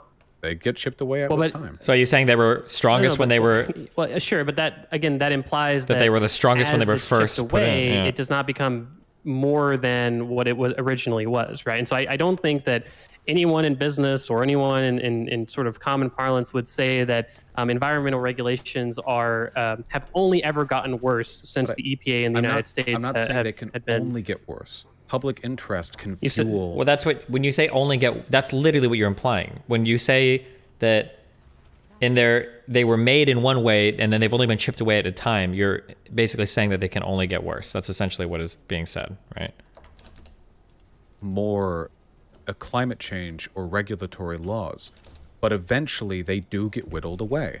Get like pretty much I'm every sorry, yeah, major so you're- environmental regulation. This guy is so polite. More than It's really annoying. Ago, has at least seen some kind of compromise thrown its way, has it not? I Oh no no no! I didn't mean to sell. No, not really. I mean, like I think uh, maybe as a, I mean, as one example, for instance, okay, um, something that the Trump administration actually did. It was December of 2020, like right before they left, um, kicking and streaming, I should say. Um, they Because passed a new tax credit for uh, carbon capture. Right now, obviously, uh, if you know, th- there's no reason for them to incentivize something like that if they're just sort of in the pocket of the oil lobby. Obviously, we're talking about the Trump administration, for God's sake. So, you know, I, I think that You- that is not- but one example. Wait, do you Sure, not think the Trump administration was in the pocket of the oil companies? No, no, no. I so I I'm not asking you necessarily to engage in that specific example. My point is that indeed Trump was a very much more pro-oil president than Obama or than Biden is currently. Um, my point is just to say that the narrative, and I, I think what would, well, I'm not going to suggest what you say obviously on your platform, but I think that in general, um, the the narrative that environmental regulations only get chipped away, and the only time that they're built up is as a result of some sort of uh, voter outrage. Um, it, it, you know, it might be true in large part, but I do think that right now, again, with the boom of ESG investing, uh, with uh, shareholders trying to make more uh, sort of actions in sustainability and diversity and good governance and things like that, um, I do think you start to see that uh, a, a little bit more pushback uh, organically. Vaush, push And back. To bring it, last sentence that I'd say is that to bring it around to the original discussion on unequal exchange, I think that um, uh, it, it, it, there is a place for government regulation, um, and I don't think that uh, e- even if uh, you could say that companies won't do this organically, uh, I'm not sure, but um, I do think there's a place for government regulation, um, and I'm not sure that it's bore out in a modern context that governments are unwilling to uh, regulate that kind of thing. Okay. So a few things. How can Vaush get mad after this debate? This seems like the most like he's getting to preach so much. This has got to be like a an awesome debate for Vaush. Like when he gets to talk and talk and talk and talk. Like First of all, I don't think Donald Trump passing tax credits for carbon capture really counts because if he really cared, he would punish companies who push out carbon, not reward companies who don't. all carbon, all Well, like carbon the reward capture. Wait, what? Those are, that's the s- those are one and the same. Carbon credits. Oh, okay, whatever. I don't understand how. I don't understand how Vaush can understand some things and then just totally miss other things. It's really confusing to me. But not reward companies who don't. All carbon, all Well, like carbon the capture. reward companies who who capture carbon, all, obviously. yeah, all tax credits do, even if they're incentivized through carbon capture, is give more money to businesses, which is consistent with his entire policy platform. This doesn't hurt companies who continue the status quo when it comes to carbon production at all. It's just tax it, credits. it does It's like- though. It- it it's does. opportunity cost. It is. Right? It's I mean, obviously, no, if you're no, no, of, no, the- it, it doesn't it doesn't hurt. no, wait, this is the dumbest thing in the world to argue. If all of a sudden, if there are 10 energy companies and then nine of them take advantage of a tax credit that makes them more profitable, then that one company that doesn't is going to lose investment. People aren't, because the profit margin is necessarily going to fall. They're either going to be outcompeted by capital investment, because people invest in other countries, or they'll just be outcompeted on, on price, because consumers won't buy from them, right? This is- Vaush's argument is unironically as long as businesses. Make money full stop, nothing they do will ever be good enough. the existing companies. They're not affected. All this this all this really is is like you can get some tax credits if you capture carbon dioxide. This isn't a meaningful way of pushing people. If you need you listen, incentives are about the I think cap and trade, economists view carbon credit. I thought that carbon credits were one of the only things that um that economists actually support in terms of like, can I find this? Cap and trade, um, IGM Forum. Let's see if I can find this. Hold on. Considering a broad range of cost benefits is a better tool for guiding climate policy than setting temperature limits. Obviously, yes. Carbon taxes are a better way to implement climate policy than cap and trade. Carbon taxes are just. I, cap and trade is basically like a carbon tax, but you can buy and sell your credits, right? I think.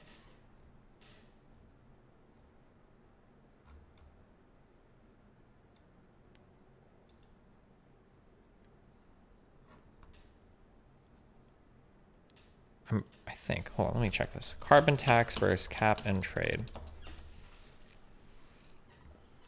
Carbon tax cap and trade programs share several major advantages over alternative policies. Both reduce emissions by encouraging lowest cost. Oh.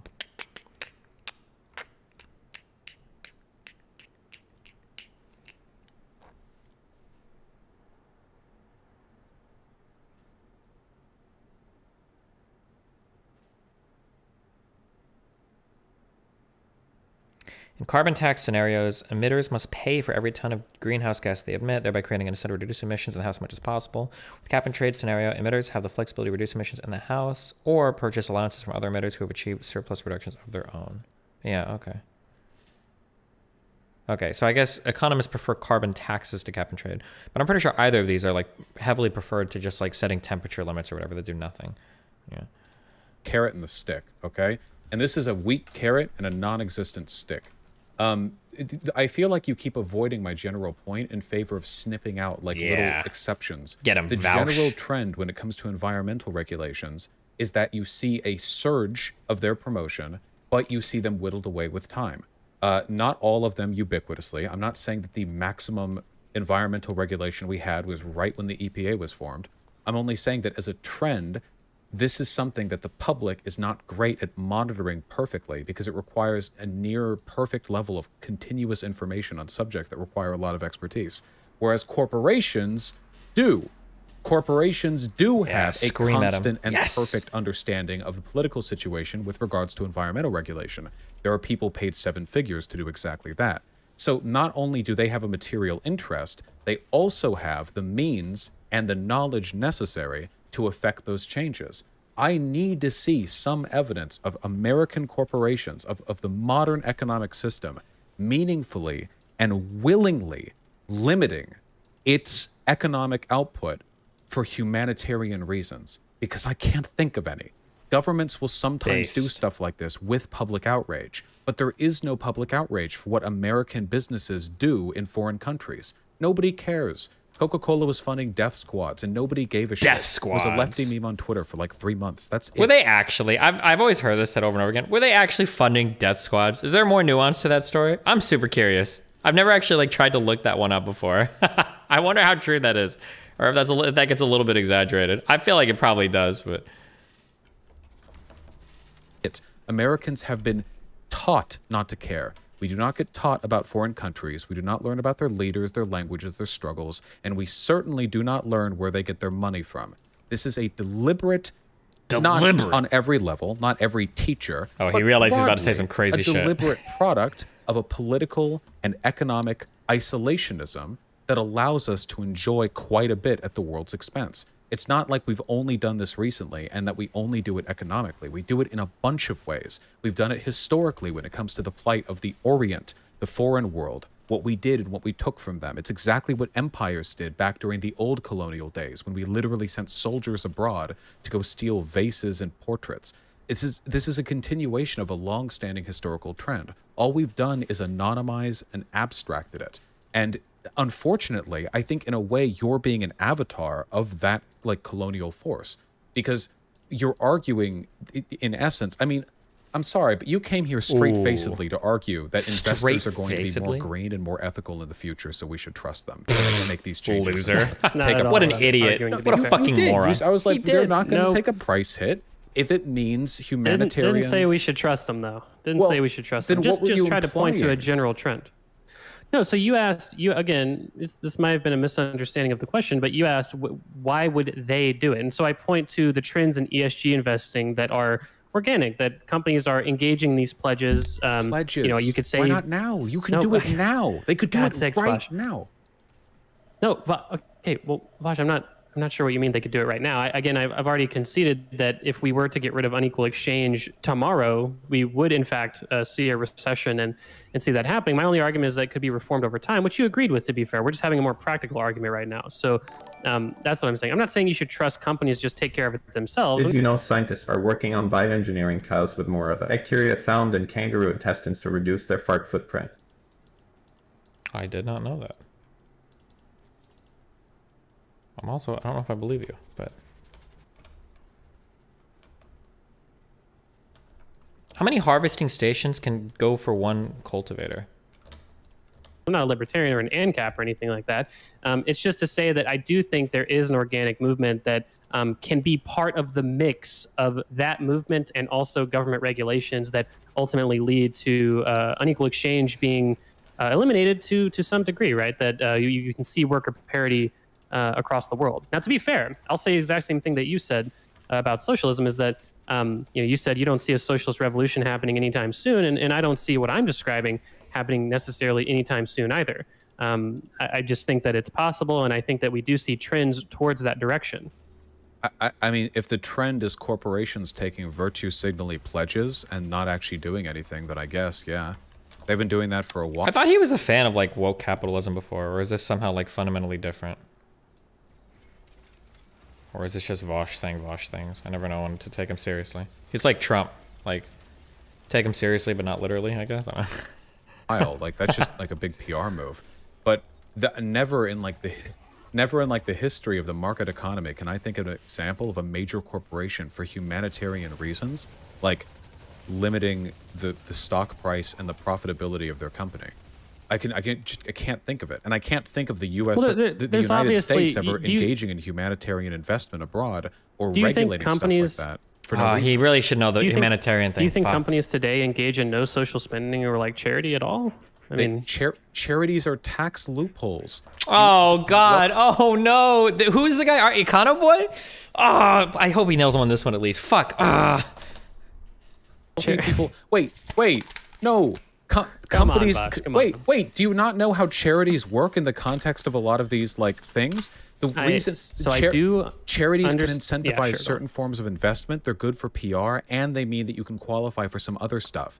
No, companies don't generally like they they don't have meetings where they like go to like stockholders and go like, oh well, I know you guys all wanted your prices to be X this year, but you know if we're gonna like actually just give a bunch of money to charity charity is usually just another component the tax laws for charity in the united states are sometimes very beneficial to corporations now i'm not familiar With any of these. all of the specifics on that With any of these uh, specifics. but i do know that there have been like write-ups about it and the ways that they can use it to avoid some other potential economic problems like i can research it next stream so i have a more Sure. particular understanding of the issue Yeah, no worries. I think I think obviously that would be very educational for for the stream and everyone. Um, Truly, but truly my point was to say that obviously charities do engage in a decent enough amount of you know sort of charity and social outreach right now, but the, obviously it's the case that those are deducted from their taxes, but you're not getting like the value of that tax deduction is only the tax rate times the spending. You're not getting the full amount of spending back, and you're still spending more.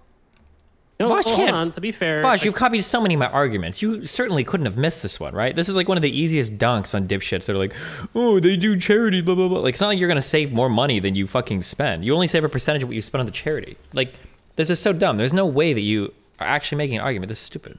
Come on, Vaush. You're better than this. again, there are tax loopholes regarding charity, but I don't think it's the case that the overwhelming amounts or even some, you know, uh, uh, even or certainly all of charity spending is just some crazy tax loophole by corporations. And the only reason I bring that up is because you brought, you know, can you name even a single example of companies sort of spending more money than they than they otherwise would need to um, on societal benefit or at the detriment of their share price? And Is by that I mean obviously detriment? cash flow return to shareholders. Well, obviously, when when you know share price in theory and typically in practice is the idea of you know future expected return in the form of cash flow, and when you're decreasing that amount uh, in the form of charitable givings, well, yes, you would you necessarily be decreasing the amount that your stock uh, would be worth, right? Now, um, that's all I'm saying. It's not a controversial claim to say that you know there's more than even a single example of companies engaging in in, uh, in charitable giving at the detriment of their free cash flow. Obviously, the money has to come from from somewhere, um, and that's that's all I'm saying. I think that your absolutist position is necessarily, it's got to be necessarily incorrect. I mean, you've got to see where I'm coming from with that, right? No.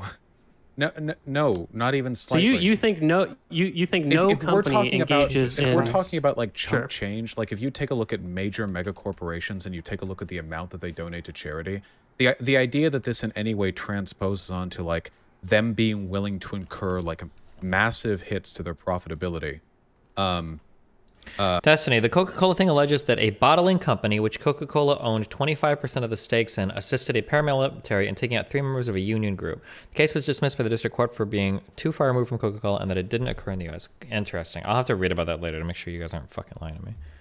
uh, uh, it, it, no, for but well, hold on. humanitarian Let me let, let, let, let me stop you right there because that's that is not my point. My point isn't that companies would be willing to engage in quote massive hits to their profitability in the name of sort of social giving or charity. My point is that they would engage in minor hits to their profitability. And when we're talking about economic wide scales, unequal exchange is just not a big part of the economy, and it is not It unreasonable to assume is. Three percent is no, not a big no, part. I, I, look, right? I've been really nice to you, but I, I can't let this slide. Okay, Oh my god, why why is he so mad? This guy is like the most passive, polite dude in the world. Holy shit. I can't let this slide any longer. I'm gonna turn into mean Vaush. It's three percent Yeah, at go the for it. Co- at the costs we pay for their goods, which are undervalued because they're being s- assembled by sweatshop workers instead of United States citizens. And our Sweatshop manufacturing and industry economy GDP percentage is around Asterisk, make eighteen point, asterisk equals, let Three me stop percent you out of there. eighteen percent is one out of six, or around seventeen percent in total. But it's worse than that. It's not just the industry that we receive and the physical goods that we receive directly. If you talk about the undercosting, it's possible that the imports that we get could contribute to a significant portion, not only of our industrial GDP, but also to the services associated with them. All of the electronic goods and raw resources that we get from them for a dollar, like cents off the dollar, we then use 20 times over in our country. You know, you may get oil from another country, but it gets refined and manufactured and sold and bought and used and etc. Lumber, how many times does lumber get transacted once it reaches our borders? when I This when I say unequal exchange, what, Bro, you just got crushed. when I say unequal exchange, what, what does that mean to you? the fact that we rely on the comparative degree of economic underdevelopment in the developing world in order to extract favorable business and trade relations from them. So it's it's a bit more specific than that. So un- unequal exchange, and, and I'll, I'll say um, I'll say this is just the idea that say you know if if a if an Indian worker can produce like one pound of wood an hour or something, and then an American worker can produce one pound of wood an hour, um, theoretically they on an exchange rate should be paid the exact same.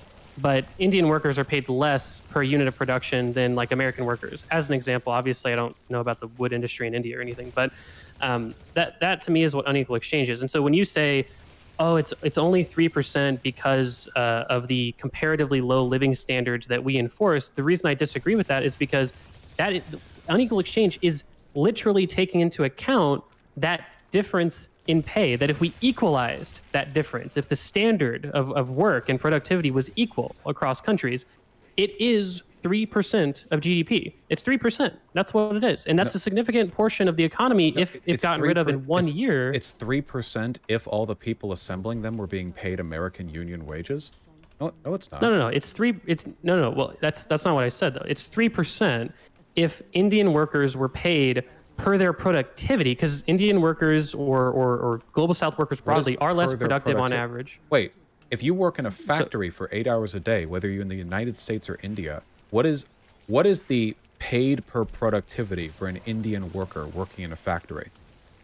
What, Right. what so is I think exactly? that this is where I'm, I'm trying to explain. So this is where I think um, it, I could illuminate a little bit more. So the reason that global south workers are less productive on average than like global north workers isn't necessarily because they're like dumber or anything like that. It'll be access to capital, education, work training. don't work right or anything. Right. Um, part of it is is lack of educational Yep. attainment. Sure, that that contributes somewhat to productivity, but also It's part a, of it is, it's is lack shame, of access. It's uh, a shame that there are international loan sharks who discourage them from spending government money on infrastructure like investment. Dude, he's like, he's so like ideologically dug in. He can't even have the conversation. He's like, he's just constantly looking for places like, how do I insert? Like, oh, I'm gonna jab him, hit him with the left jab here about the CIA. Oh, strong right hook, bringing back the IMF. Like, oh, uh, left uppercut, bringing out a CIA, Coca-Cola Death Squad. He's like, he's like not even like plugged into the conversation. He's just looking for places to like get you know big ups from his audience on. Investment then, huh? Well, no, not necessarily. I mean, I, I've already disagreed with that in, in large part. Obviously, global South nations have you know quality universities to go to and everything like that. It's it's just a matter of overall wealth. What what what I was trying to say. Well, Wait, do they? Does he does he think that like only Europe and America have colleges? what was that? What he said it quietly too. Wait, what? I disagree with that in, in large part. Obviously, global South nations have you know quality universities to go to and everything like that. It's it's just a matter of overall wealth. What what what I was trying to say. Well, yes, there are quality universities in India. Vaush, come on, Enough, I enough mean, for the let's get real population. here. How, what, what's the, what's the average? Um, Oh, okay. Equality is enough for the population. I mean, what does that even mean? Are there even enough high quality universities in the United States for the population? I mean, if everybody went to college, probably not. You'd probably have to increase class sizes dramatically or build more universities, right? That's kind of a strange way to phrase it, but what's the average like educational attainment in India? Do you think it's comparable to the United States? They have like 1.1 No, no, that's- billion. I just want to point out using India as an example here is kind of funny. Now, I'm sure India probably has a lot of like low um, educated people, but like Indians are. I'm pretty sure Indians are known for exporting uh, high quality workers to other parts of the world. Like we have like the whole thing about H-1B visas, where coders, like engineers in the United States, are pissed off. He's like, "Fuck, here comes more Indian people that are about to take our fucking jobs." It's not like India is exporting, you know, Apu, the, the gas station owner or whatever. That YouTube chat is better than all other chats combined. We are excited for your move to Sweden. Nice. It's not like India is just exporting low quality workers to the world. That's not what India is known for. You know, like that's like if you have Indian workers, well, I wonder actually what um how could I look this up? Average Indian uh median wage USA. I wonder what the median wage is for the like ethnic group. Could I find this out? The median family earnings of Indians in the United States is $123,700, nearly double the nationwide average of 63,922. Jesus. About 79% of Indians are college graduates in comparison with the nationwide average of 34%. Now, to be fair though, um, average college attainment or um, let's see, Indian average college attainment, like for the for the country of India.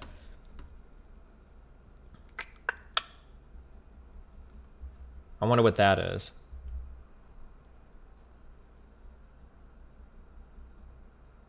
India has a publicly funded higher education system that is the third largest in the world, next to the US and China. Jesus.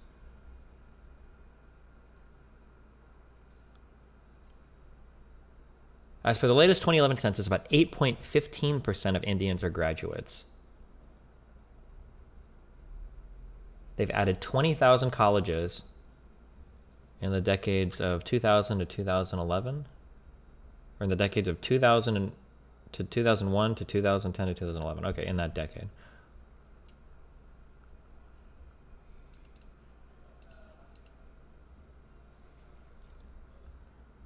In the U.S., it's like 30%, I think. So it is. They're getting there. It is, to be fair, I'm pretty sure India is considered like a developing nation as well. But People, Uh, I'm sure they have Well, some. no, Vaush, that, that's part of my that, that's part of my point is that on average, Indian workers, and we're using Indian as an example, just global South more broadly, workers are less educated, so that contributes part of which to their productivity. That's less, but also part of it is uh, access to capital. So oh, obviously, I pre-watched. It's How much would I have to donate to replace Dan as your friend? I am very rich, very smart, very good at debates. Um, I'll think about it, moving mouth. Okay.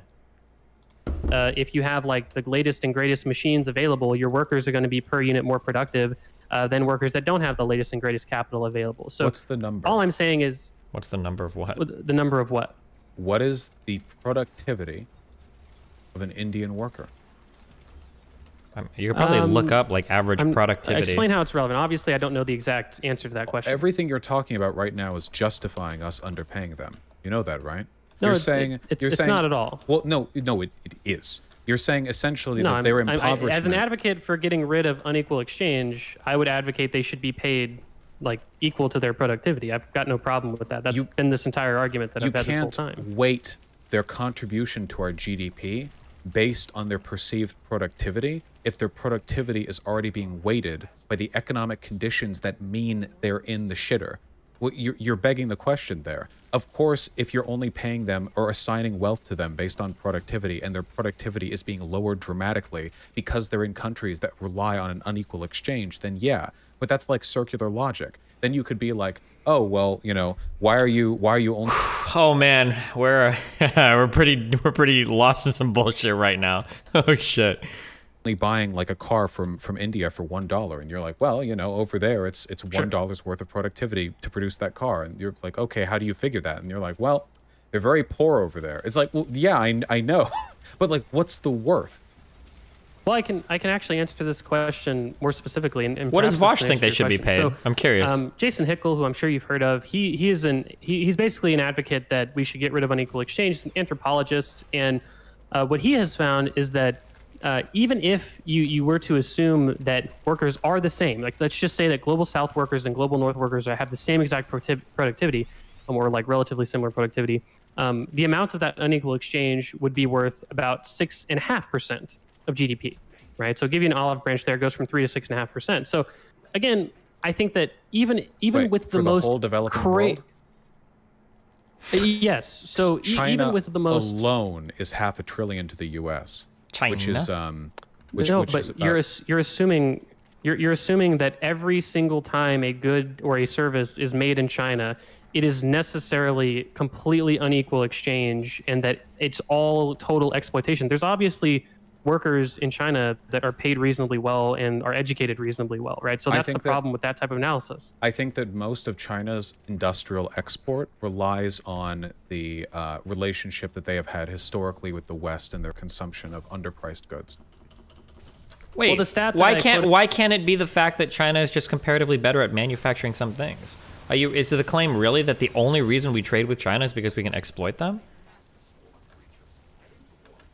Okay, it said it wasn't going to get attacked for like 40 seconds. Why did these guys come so early? Fuck you. But I don't expect you to remember all these stats. Obviously, the stat I quoted originally was that as a percentage is of the the, biggest whole waste entire talent world's GDP, if you if you What assume every single time someone from the global south makes something, and that is necessarily unequal exchange, it's necessarily exploitative. What is that percentage of the exports that are sort of um, of the world GDP? Um, it's it's seven point eight percent of of, of global North GDP, seven point eight percent. But that's such a crazy assumption to make uh, in the first place. And even if you made that assumption, Why is it a crazy Seven assumption? point eight percent. Yeah, why is it so crazy? Well, because number one, China and the rest of the global South obviously trade a lot with each other, and so if we're concerned mostly with sort of the percentage of the global North GDP, um, it uh, you you know you you wouldn't make that assumption, um, and also just the idea that every single time any worker in China makes a product and then it gets exported to the global North, it's necessarily unequal exchange. It's necessarily in- incredible, crazy labor China, uh, exploitation. China alone, China? single-handedly is twenty percent of our imports. You're telling me that if we axed out the entire global south, it would be charitable to me to say that the the global north would lose out on 7% of its GDP?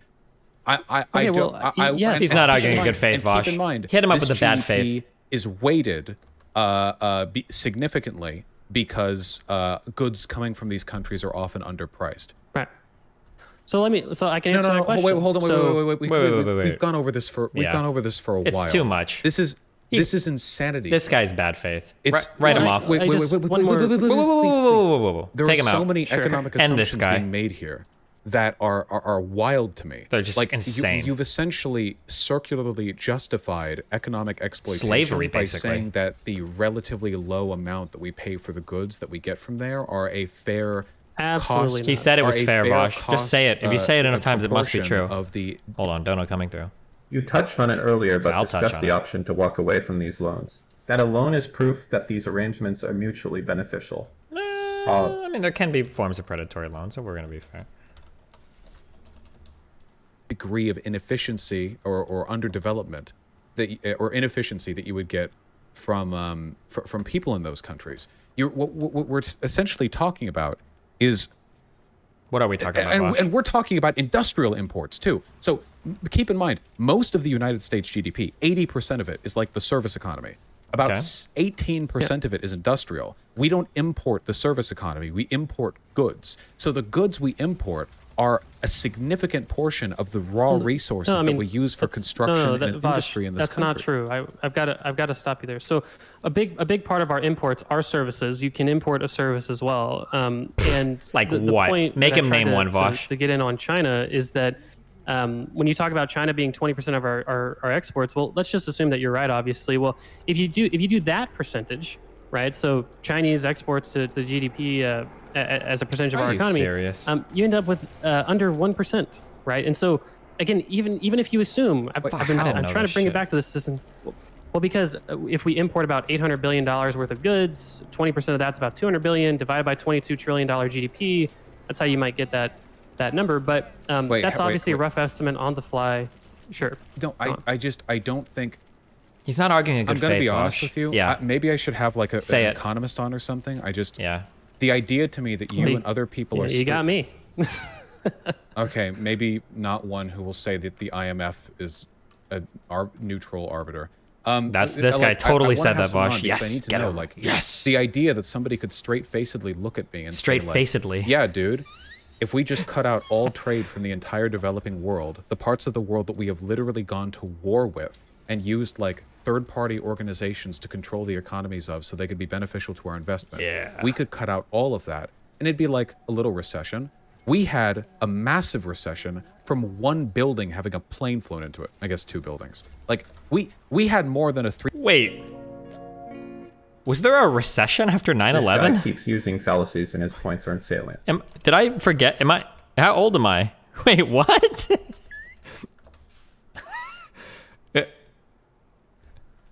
okay. I, I must have missed that one. I was pretty young, I think.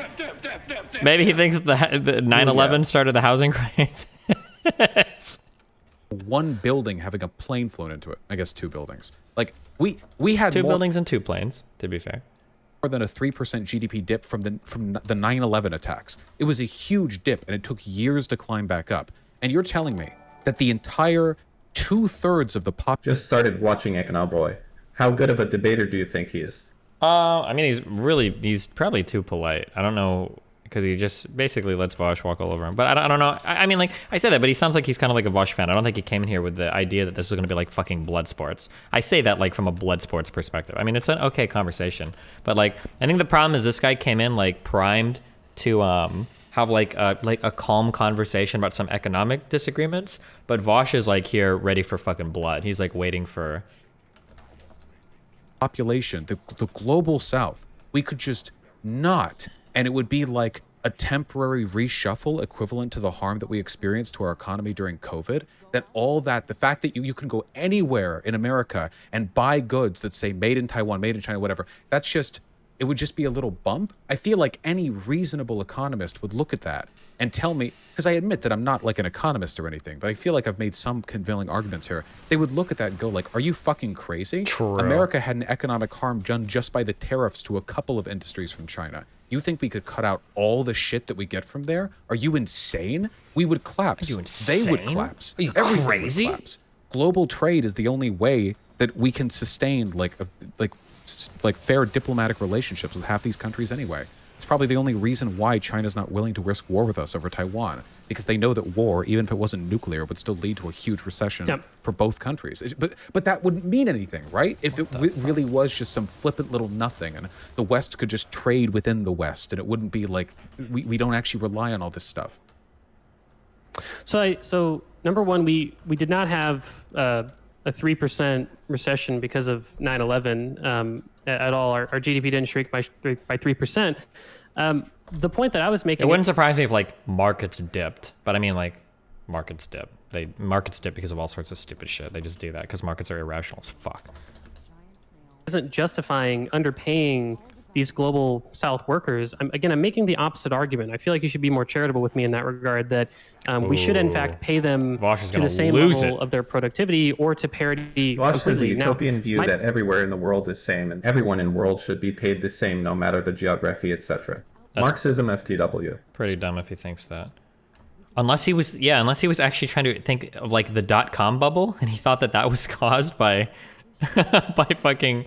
I guess it's, I don't know. Maybe could he think that? I don't want to assume the worst, but then again, he's also fucking stupid. So point bringing up the six and a half percent is that even if we assumed that, i- despite any knowledge or anything like that, if we assume that they're the same productivity, then the percentage of the economy that's based on uh, exploitation or, or unequal exchange does go up to six and a half percent, and that's not a small, uh, trivial amount of the economy. If we wiped it off the map immediately, right? My only point throughout this entire debate, which I, I feel like is is fair enough, is that um, in fact it would be possible to do that. To survive, That it yeah. would be sustainable to do that, and we do see countries making steps uh, towards that uh, in that regard. Um, and if we assume a little bit more charitably that there are some productivity differences, it goes down to three percent. So, you know, no reason I don't think we we we wouldn't have this. And and the last thing that I would say is that um, you say, oh, any economist would say this, this, and that. Look, forget about the education that I have.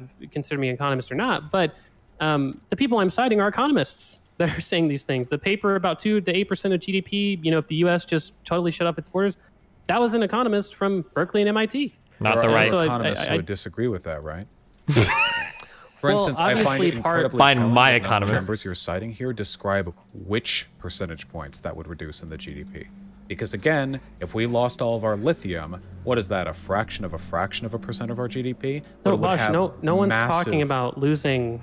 No one's talking about losing all of the. Again, the, the point of the paper about U.S. using losing two to eight percent of its GDP is a theoretical construct. If we closed our borders completely, right? That's not what I'm advocating for. What I'm advocating for is just simply worker parity across borders, which obviously I think you'd agree with too. My only point is You to say think that if we did arguments that, have fallen that would or was he represent about a this six and a bad? half percent being I have no incredibly charitable to productivity, three to six and a half percent of, of, of, of GDP, and we wouldn't lose all of our lithium, we wouldn't lose all of our wood, our steel. We'd still get these goods. It's just that those workers would be paid a reasonable wage. Take him out, Vaush. Give him the kill shot. I don't believe it. Not for a single, not All for a fraction of a second. I think it's actually Fucking got him. delusional. I think Base, this is call like him delusional. shill shit that people Oh my throw out God. there in an effort to justify Neoliberal the idea that shill. Jason Hickel is a developing world. Marxist, to be fair. Well, I'd have to take a look at his like readings of this because I don't know if I can trust somebody's interpretation of a Marxist paper when they're like telling me the IMF is like neutral on their shit. I like I, I'm, I'm sorry. This is no no no. Oh no, no. my Like, God, can laugh, dude. and I'm not He trying to be antagonistic dumpstered or him. anything like that. Good but, job, like, Vaush. No, I'm not. I'm not laughing. Take at this your- your neoliberal points. It's shill. that Take him out. Obviously, I'm, I'm I'm being as good faith as possible. Of course, No, I he's don't. I think This guy is I'm the ultimate in bad hyperbolic. faith I'm debating. trying to as well. I don't know why I remember that September 11th caused a dip here. It must have caused a dip in something else. Um, but Yeah, no, no it's What, like, no. like property values in fucking Manhattan? What's it? I mean, like, what? Yeah, I mean, there's, I'm sure. I mean, like, and the number of mosques that appeared, like, in a 10 mile radius from the fucking X Twin Towers, probably. Yeah, there are definitely some dips caused. No, it's not. Um, chat. It's not the same. It's not the Jackson Hickel you think it is. Shut up. Anyway, um, Yeah, yeah, no, it's I made that mistake too. Yeah, it's it's a funny name. Um, no, I don't believe it. Sorry, I'm Yeah. gonna need more. No, Th- that's this good, is- man. This is Fuck essentially this like- guy. Totally yeah, fine. your your country has spent the past This two and a- neoliberal a shall half need centuries It's a fucking shill, dude. to secure economic control over the developing world, but actually it's like very trivial and it doesn't didn't actually matter that much anyway. And the amount of, the, God, of so our base. GDP that we would lose by not doing it is equivalent to like negating one year of growth. Maybe even not that much. Like you could basically hit freeze on the GDP growth graph for like nine months. Yo, and that would be enough. How do you get this shit to stop expanding? cutting off trade from the entire developing world. That like to me, like I I I, I feel like. Can you link those papers from from, from Jackson Hickel? Yeah, absolutely, absolutely, for sure. Um, well, all right. I think I think at the at the point of um, I just don't believe it. and I need to do more research. I, I feel like that's that's you said you had to get out about 5:30 anyway, or 5:30 Central Time. Um, uh, so I, you know, uh, unless you wanted to, to talk about anything else. Nah, don't talk to Um, this show. No, I have to go. There's pasta waiting for me, unfortunately. What kind? Uh, it has bacon in it. That's all I know. It's probably rigatoni or something. what do you say? All right. Well, that sounds good. Um, yeah. Uh, so I guess you know, closing statement. Obviously, you know, laid out there on the debate. Um, I, I feel like I've, I've justified my points. I'll link you all those papers. Um, uh, thanks for, for for letting me on, give me the platform. Uh, again, if anyone's interested in, in kind of a progressive capitalist uh, sort of interpretation of economics, you could say um, that's my YouTube channel, Econoboi, uh, and, that, and that's all I have to say. You take care, okay? All right, you too. Have a good day. Absolutely. All right. dumpstered. We're on an unrelenting economic research arc until we find out why that guy was wrong. Okay. So I would say that's probably so if you watch for my research streams, I would say that's probably not a good foundation to start from when it comes to doing research. Uh, is to start with a conclusion and say, all right, we're gonna look until we figure out why we're correct. Okay, why does this shit grow? Is there what is the source? Is there a source?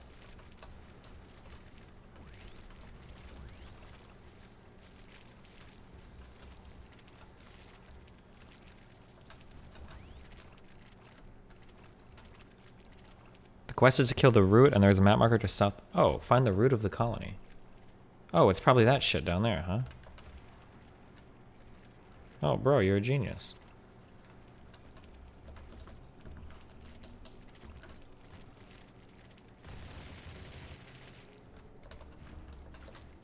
Um, okay, the Econoboi. I don't care about this. The Econoboi added me. I just, I don't know what we what we would talk about.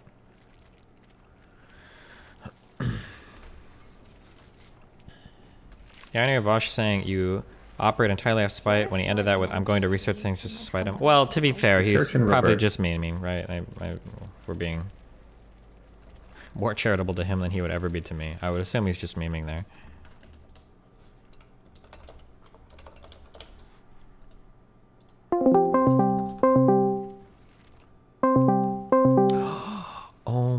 God. Hey, what's up? What's up, Dustin? Wait, what do you Um, what do you play? What do you play? Tell us. The real chat, what we really care about. You know, I, I don't play ever ever since leaving grad school. I don't play much of anything anymore. I'm a I'm a sad, um, you know, small YouTuber, just trying to make it meet. Wait, do you have any music background at all? Okay, goddamn it. Okay, so people ask me this all the time. Well, your Uh, Discord on symbol is an E flat. So I, or is it not supposed to be an E flat? Is that like some like postscript variable or some bullshit? All right, so this is how little background I have in music. I didn't know that this looked like an E flat, and the reason. Uh, so here, here's the logic. Um, Uh, okay. I I obviously watch Twitch streams, uh, and it's like, oh, how could I do, you know, Twitch or YouTube? Well, I know a lot about economics, uh, so obviously the first step for me was needed a logo. Needed my logo to be as simple as possible because uh, I'm no graphic designer. You can probably tell that by my thumbnails, and I figured, oh, what's something simple? So I used to watch uh, this streamer. I'm sure you know him, named Moon Moon, right? Uh, when he was a bit smaller. Wow, used to And- watch him. What? Why did you turn him off? well, I, I don't have time to play Overwatch anymore. That's when he was big into Overwatch, so I just fell off of watching basically Okay. video game streamers and started watching politics streamers. Um, and you know what ended up happening was um, Moon Moon's logo, I think maybe it still is, but it was at the time, was like a moon and then squared for Moon Moon, obviously. And I was like, oh, I could do like a an E raised to the B. You know, Econo Boy. Um, I've always liked the name Econo Boy for like a username because I like economics. And so I asked my friend, uh, hey, could you do an E raised to the B? He's like a this sort of graphic designer kind of dude, and he told me he'd do it for free because it was so simple. But now people think that I am into music because I have an E flat as my as my logo now. So that's the story. Gotcha. Well, damn. Okay. Well, you know, I don't know how you came up with your logo. Obviously, plain old Destiny. I mean, It's a long story. is that man. all? You know, that's fair. You know, one question I've always wanted to ask you before I ask you about the Vaush debate is how did you get the original Destiny accounts on everything? Like, Just- Econoboi was a unique enough name that I just got the unique accounts, but how did you get like the original Destiny, like like Instagram and you know stuff like that? Just uh, every there's a story behind every acquisition. Okay, it's a lot of work. All right, a lot of Ah, memes, see, a lot of heartbreak, a lot of unfortunate coincidences. But um, yeah. was there know. any capitalist exploitation involved in achieving these usernames? Oof, more than capitalist. There was some just rough and dirty stuff that happened, unfortunately. But you know, it's. All part of the game of acquiring rare handles. You know, there was a yeah. All right. for Twitch maybe though. I was like the first. uh, I was like one of the first fucking streamers on this platform, so that's why I had it like a long time ago. You know? Oh, were you streaming in the Justin TV days? Bro, I was streaming. I th- mm, was I streaming before Just TV was a site? My first chat I streamed on was livestream.com. Then there was Ustream, um, and then eventually I did JTV. Yeah. Ah, I see, I see. So you, you, you actually predate Justin TV. You've been doing it for a little while. Maybe I don't know if I would say I predate JTV because I don't know when JTV started, but I'm, I've been here for a while. I'd say. Yeah. All right, all right. Um, no, I, you know, I figured, uh, been watching you for a little while. Take advantage of this, this 15 minutes. Uh, ask you some questions about the debate. Um, you know, how do you think it went? Um. Well, I, from whose perspective? They're still growing. I even killed the thing. What the fuck, guys? From I'm guessing from your perspective. Uh, I guess from both of our perspectives. I mean, uh, how do you think uh, Vaush? Right after the debate, he did a. You know, obviously, I included the clip of him saying he was gonna w- Do a research until he research discovered stream? that I was. Yeah. Well, what that culminated into, I was actually curious. So uh, immediately after our debate was over, he scheduled a research stream for later that night. Oh Um, damn. Okay. and he started it like three hours early. Um, but to be fair, instead of doing like research about the topics we discussed, he got really drunk and started just looking up poverty rates over time. Uh, so there, there wasn't a lot of. Um, I'm not sure Engagement he came to any conclusions. conversation. Yeah, uh, exactly. But uh, so I don't know. I feel like I did pretty well. But how do you think I did? I'm, you know, that you're the you're the the godfather of, of, of Twitch debate. So I'd love to hear some uh, some feedback. Um, I mean, I think you guys were there to have different conversations. So I think that that's probably why the conversation went the way that it did. Like, it seemed like you wanted to talk about economics or something, and I think he was way more um, wanting to talk about like the political side of things. So while you were kind Yeah. of there to make kind of these just statements about um, economics or productivity, every statement that you were kind of just giving as like a descriptive fact, I think he was hearing more of a political slant to it than what I assume you were intending. So, for instance, when you talk about like the differences in productivity between American workers who are highly productive um, versus workers in a developing country who are going to be far less productive for a variety of reasons, that explanation almost sounds like a justification for sweatshop labor. That's what it sounds like. Or I, I could see somebody hearing it that way. So I think that's, yeah. Yeah, that makes sense. I mean, I, I think uh, someone in my my comments did mention that.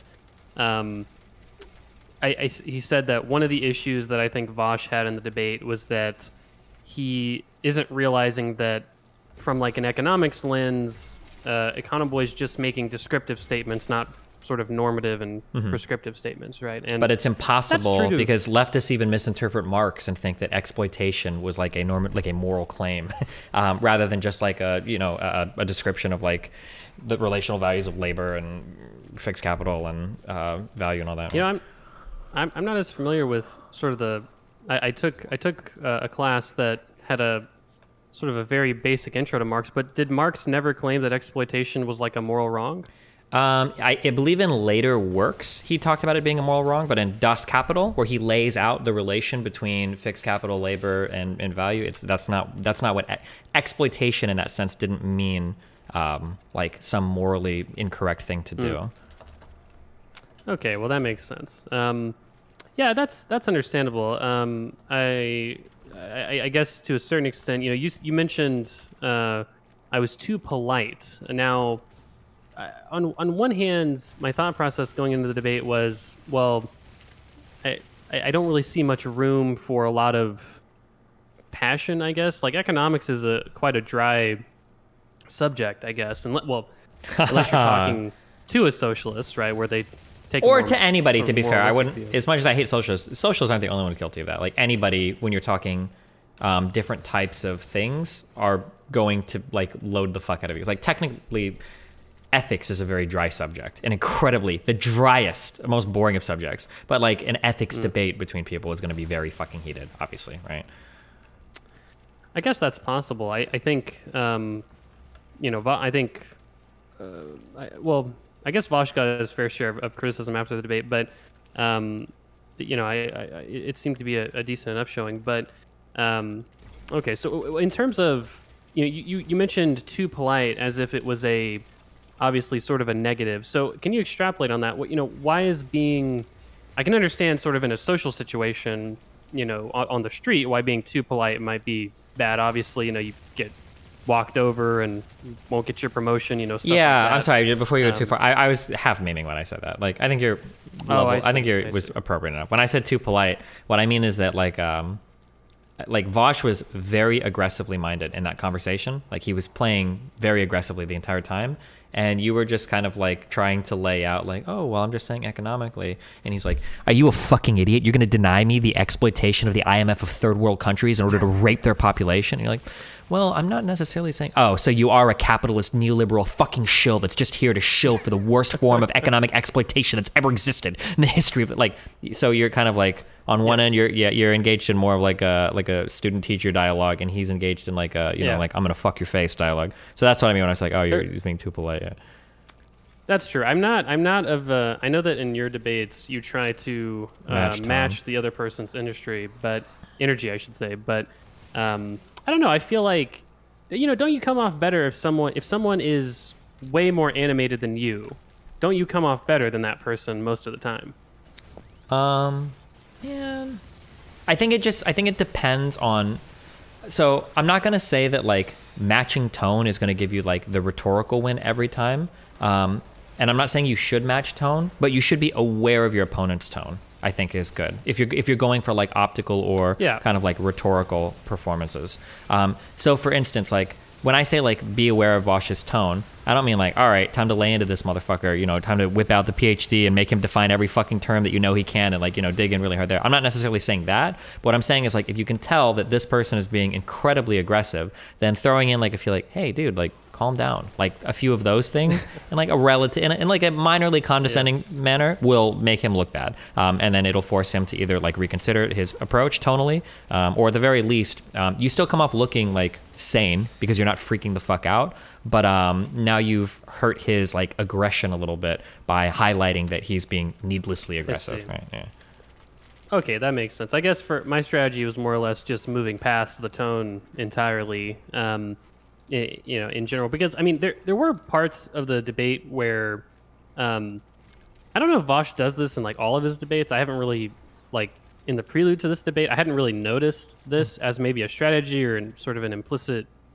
uh, subconscious thing maybe he does or a conscious thing. I'm not really sure, but um, there were a couple times I didn't I didn't interrupt throughout the entire debate except for when I felt like Vaush was like really really uncharitably interpreting my arguments. So there were a couple times where it was like, um, you know, oh I, I don't know, I think it's three percent of GDP on equal exchange, um, and you know part of that is like productivity differences. But even when taking into account those, you know, global South workers still get paid less for their productivity, and then Vaush comes back and says something like, you know, you're you're, you're literally justifying, justifying the the- idea yeah. that you know, and it's like, well, not really, right? And and that kind of got bogged down uh, into the weeds. Um, the biggest criticism that I've I have gotten, it seems to have been mostly good, um, has been the IMF uh, section of the debate, like that 20 to 30 minutes, and um, I.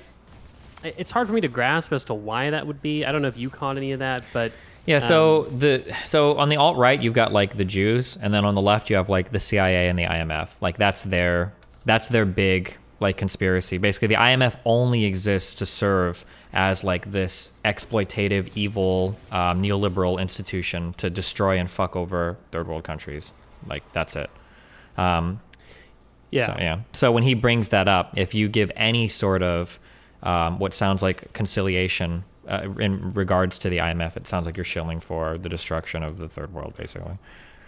I guess so. I think the, the the trouble I had in that section was that I didn't want to get into like an in-depth discussion on the IMF, not because I sort of was would be unprepared to have that discussion. It's just it's not really what I came there to talk about, and I feel like at the point when you're like there, there was there was five minutes of that 25 minutes where Vaush was just reading from the Wikipedia page of the IMF, the and I'm not really. well, yeah, it's just like I'm not sure how to, you know, I'm not sure how to Uh huh. engage in this. You're not, you're not, you're literally not making your own arguments. You're just you're reading from a wiki page, and um, so you know, I think that's why throughout the whole 25 minutes, if if anyone rewatches it, you'll notice that pretty much the entire time, I'm fundamentally just repeating myself. I'm just trying to say the IMF is a bank. That is what it is. That frame of view encompasses more so and explains more so directly the actions of the IMF. Not that they're like an arm of neocolonial regime change or anything like that. Yeah. Similar to how if you view the CIA as just an institution that wants to, you know, secure business interests for the U.S. and fuck over communism, it wouldn't make sense the actions that the CIA has taken that would be sort of counter to that ideological motivation, right? So, What is your, um, national security view makes more sense. Are you? Do you have your PhD, or are you working on it, or? No, so um, I I actually I used to have in my profile my exact education, but I took it out because I was like, Easy to dox. I don't know. I just. Well, I mean, maybe. I mean, I think not super concerned about getting doxxed or anything, but I, I think it's more so that I don't want people to think that I'm like bragging or anything like that. But anyway, to, to answer the question, I don't have a PhD. Um, I did my master. I did two master's degrees. So No, the right I did a MF is the master's in Jews, too. It's economics and a master's in finance. And my undergrad was poli sci and econ, but you know, at the point of doing grad school, your undergrad doesn't really matter as much. Yeah. Um, and um so that's what I did. Um, and uh, I'm, I'm uh, sort of focused on various topics during that time, but not a PhD. I don't have that sort of depth of knowledge uh, myself. But Gotcha. But you did econ. What kind of econ for masters? You must have specialized a little bit, yeah. Yeah, to a certain extent. So my economics uh, master's degree was fairly applied. So I didn't have, um, I don't have as much like theoretical foundation for my economics master's degree. Um, so, like, if someone were to ask me, I don't know, hey, walk me through this like game theory uh, calculation, or you know, do the uh, the Nash equilibrium of, it's like, dude, I I did that in undergrad. Fucking hated that part of economics. I was more interested in the statistical side. Um, in that regard, I focused mostly on like programming. Um, in terms of actual economics, uh, Chinese credit markets was like very specifically the thing that I focused on, Gotcha. um, and maybe healthcare policy stuff like that. Mm-hmm. Uh, in finance, uh, finance, I would say that I focused mostly on like valuation and energy. So during my finance degree, I did probably about a half a dozen commissioned kind of research projects uh, regarding energy deployment, uh, mostly in the uh, on the renewable side because that's kind of what everyone's interested in. So, um, you know, my, my YouTube channel kind of came about from after I finished grad school. The the one, one of the biggest lies they'll tell uh, kids a lot of the times is life gets so much harder when you become an adult, and to a certain extent that could be true. But in my experience, I- when I like became an adult and finished grad school, which was about a year and a half ago, I'm 24. Um, I, I I really just had a lot more free time. Sure. And so after I got done with my you know grad school, uh, had a lot more free time. Figured you know I'd start this YouTube channel and um, in part for education, do a lot of scripted videos, but then in a part for partially for fun. I just like doing debates and stuff, and these sorts of conversations are just fun for me. So Something that I would say that is going to come up a lot if you don't if you're not ready for it that's very frustrating is um, you don't get All to have very many conversations about topics divorced from the morality behind those topics and everything becomes very heavily moralized. Uh, which is incredibly frustrating, especially if you're talking about anything related to economics or finance. So, for instance, a statement like rent control might not be an effective way of helping low income people secure housing. That statement is translated to I fucking hate poor people and I hope they can't afford anything because I want them to die. Or a statement like the productivity of US workers is generally much higher than the productivity of Indian workers. Um, your statement is essentially saying white US people are worth more morally than these disgusting brown Indian people and you hate them and you want them to be poor and suffer. Like these are how all of the statements run through people's minds and it makes it impossible to have any type of policy or econ or finance discussion without just immediately people jump there. So like for instance, like I don't like corporate taxes. I think they're stupid. But I, I think that like um, I think income and capital gains taxes could see a big bump. Yeah. But like as soon as I say like I think corporate taxes are an ineffective way of raising revenue, oh, it's because you love corporations and you want them to steal and loot and pilfer all the money out of like U.S. taxpayers and not pay anything or their fair share and blah blah blah. Like that's how people hear, and it's like okay, well, Yeah. yeah. Well, I, I yeah, I, I tend to agree. I think my actually my second uh, to most recent video that I released was, uh, or well, like scripted video was actually about corporate taxes and how it's uh, not the most effective tax in general. But um, uh, that was the uh, that, that was the video that I, I thought I would actually get more pushback on because it's quite a, you know, I consider myself a progressive sort of economic thinker. You know, certainly uh, quite far left in terms of like the average American voter. Um, But I'm like a right wing conservative compared to some of these Twitter people. Online, yeah, seems, absolutely. Yeah. It's insane. But that's that's just to say that um, even amongst sort of progressive economic thinkers, you know, Elizabeth Warren, you know, people like uh, Robert Reich, things like that, Mm-hmm. uh, lowering the corporate tax is not a position that they would hold, which is one that I espouse in, in the video that I made. And so, uh, something Mm-hmm. I'd be like that curious because sometimes when those economists talk, sometimes they keep in mind like political efficacy as well. So in that sense, like I might Yeah. defend corporate taxes because they look good, people like them. Um, it's hard to attack them politically, or, or I'm sorry, it's hard. Yeah, it would be like if you came out and you're like, I want to lower corporate tax rates. I guess unless you're a Republican president, right? Like it's probably going to be seen as kind of unpopular. Um, so yeah, I, I can understand why they exist in the way they do, but. No, that's true. That's why people like economists should be mindful that there's always a third axis at play in their in their analysis, which is the political axis, right? So like we can we can have like very esoteric arguments of you know oh like it'd be great if we like lowered the corporate tax to almost nothing eh, or like a very marginal amount and just raised capital gains taxes or oh it'd be great if we had like uh union sectoral bargaining and no minimum wage Yeah, because that's like probably Norway more or- efficient yeah. yeah, exactly. But that the reality is, is that that's just not going to happen. So if you have in front of your desk, like, hey, we've got this big infrastructure bill and it includes a corporate tax increase. Well, even though I just said what I said, if I was a congressperson, I'd vote for it. And even though I just said what I said previously, if I had a bill on my desk that was like, uh, you know, fifteen dollar minimum wage across the country, well, I'd probably vote for it. Yeah. Right. Even though it's, I like perfectly not the most efficient, maybe Mm-hmm. economically. Um, which can be frustrating for for economic you know sort of thinkers but uh, also it's it's it's just the reality it's like Yeah. when it's like when um like it's i think it's one of the reasons that cin- Sinema reasonably i think it's criticized a lot more than Manchin because Sinema is in a you know a, a, a tilting more blue state uh, and Manchin's in like one of the reddest states in the country. So you know might be a little bit more understanding if Manchin's more conservative than uh, than Sinema is so One thing I'll like say that, for Sinema, because for the longest time I try to figure out, like, I understand why Manchin is the way that he is, and it's just a political reality you have to work around. I accept it. Um, I couldn't understand Yeah. um, Sinema because there's another blue Democrat in that um, in that Senate. mark kelly Yeah, and Astronaut. they are um, very much more progressive than Sinema is. But apparently, if you do, I don't know if this was, it was either a 538 article or it might have been a Vox article that I read. Um, when you break down Sinema's actual like voter base, she draws from very, very, very different people than Kelly.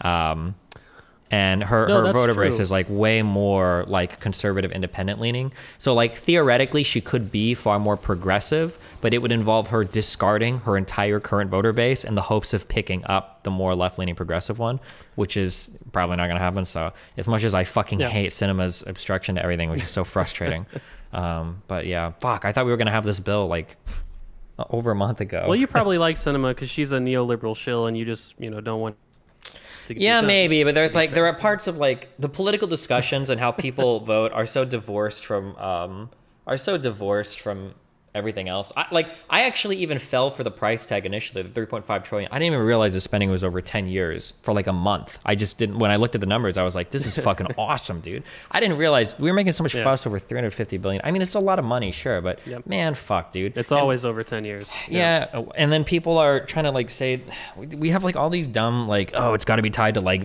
budget increases and tax increases and like fucking all these like work test requirements or whatever for everything or the work requirements like man dude can we just like fuck off with all this stupid bullshit like god it's there's just so much Yeah. junk yeah No, I agree. I think it's it's it, it's an interesting test case. I think that I think that two senators that aren't getting nearly enough credit uh, as they should be Mm-hmm. are Warnock and and and uh, oh fuck, who's the other guy Ossoff? that won in Georgia? Ossoff, yeah. Mm-hmm. Um, Warnock and Ossoff have been 100% party line Democrats ever Mm-hmm. since taking office, and they've actually both championed their own initiatives that are quite popular. Um, uh, Ossoff, for instance, is doing a lot of work on uh, solar manufacturing and, and, and solar paneling, right? And then Warnock, I think, is doing a lot of work on voter rights, right? So they each kind of have their own base to a certain extent, and they also have their own initiatives that they're working on. But they're also working on them in like the slightest of purple states. Like Georgia's been a red state for like 25 years now, right? And um, obviously, they just recently went. You know, you could call them purple, but they just went double blue in the Senate race because of the two elections simultaneously. And um, they've they appear to have taken totally different strategies in Sinema. Right? They're not trying to play at all to conservatives. They're taking what is like more the Mark Kelly idea, which is I have my base of Democratic leaning voters, and I'm just going to kind of rely on them to come out and support me when the time comes. And you know, we'll see how that works out. I mean, Mark Kelly's up for reelection 2022. So's Raphael Warnock, and you know, if if both of them lose their elections, well, I mean, fuck, maybe to a certain extent they're right. Sinema's not up until 24, so you know, we'll see how that goes, I guess. But Sinema's biggest problem right now is that she's polling like at 25% in the Democratic primary in Arizona. Like nobody likes Kyrsten Sinema. Like if you're a Democrat, why would you like Kyrsten Sinema? Right? Yeah. So she's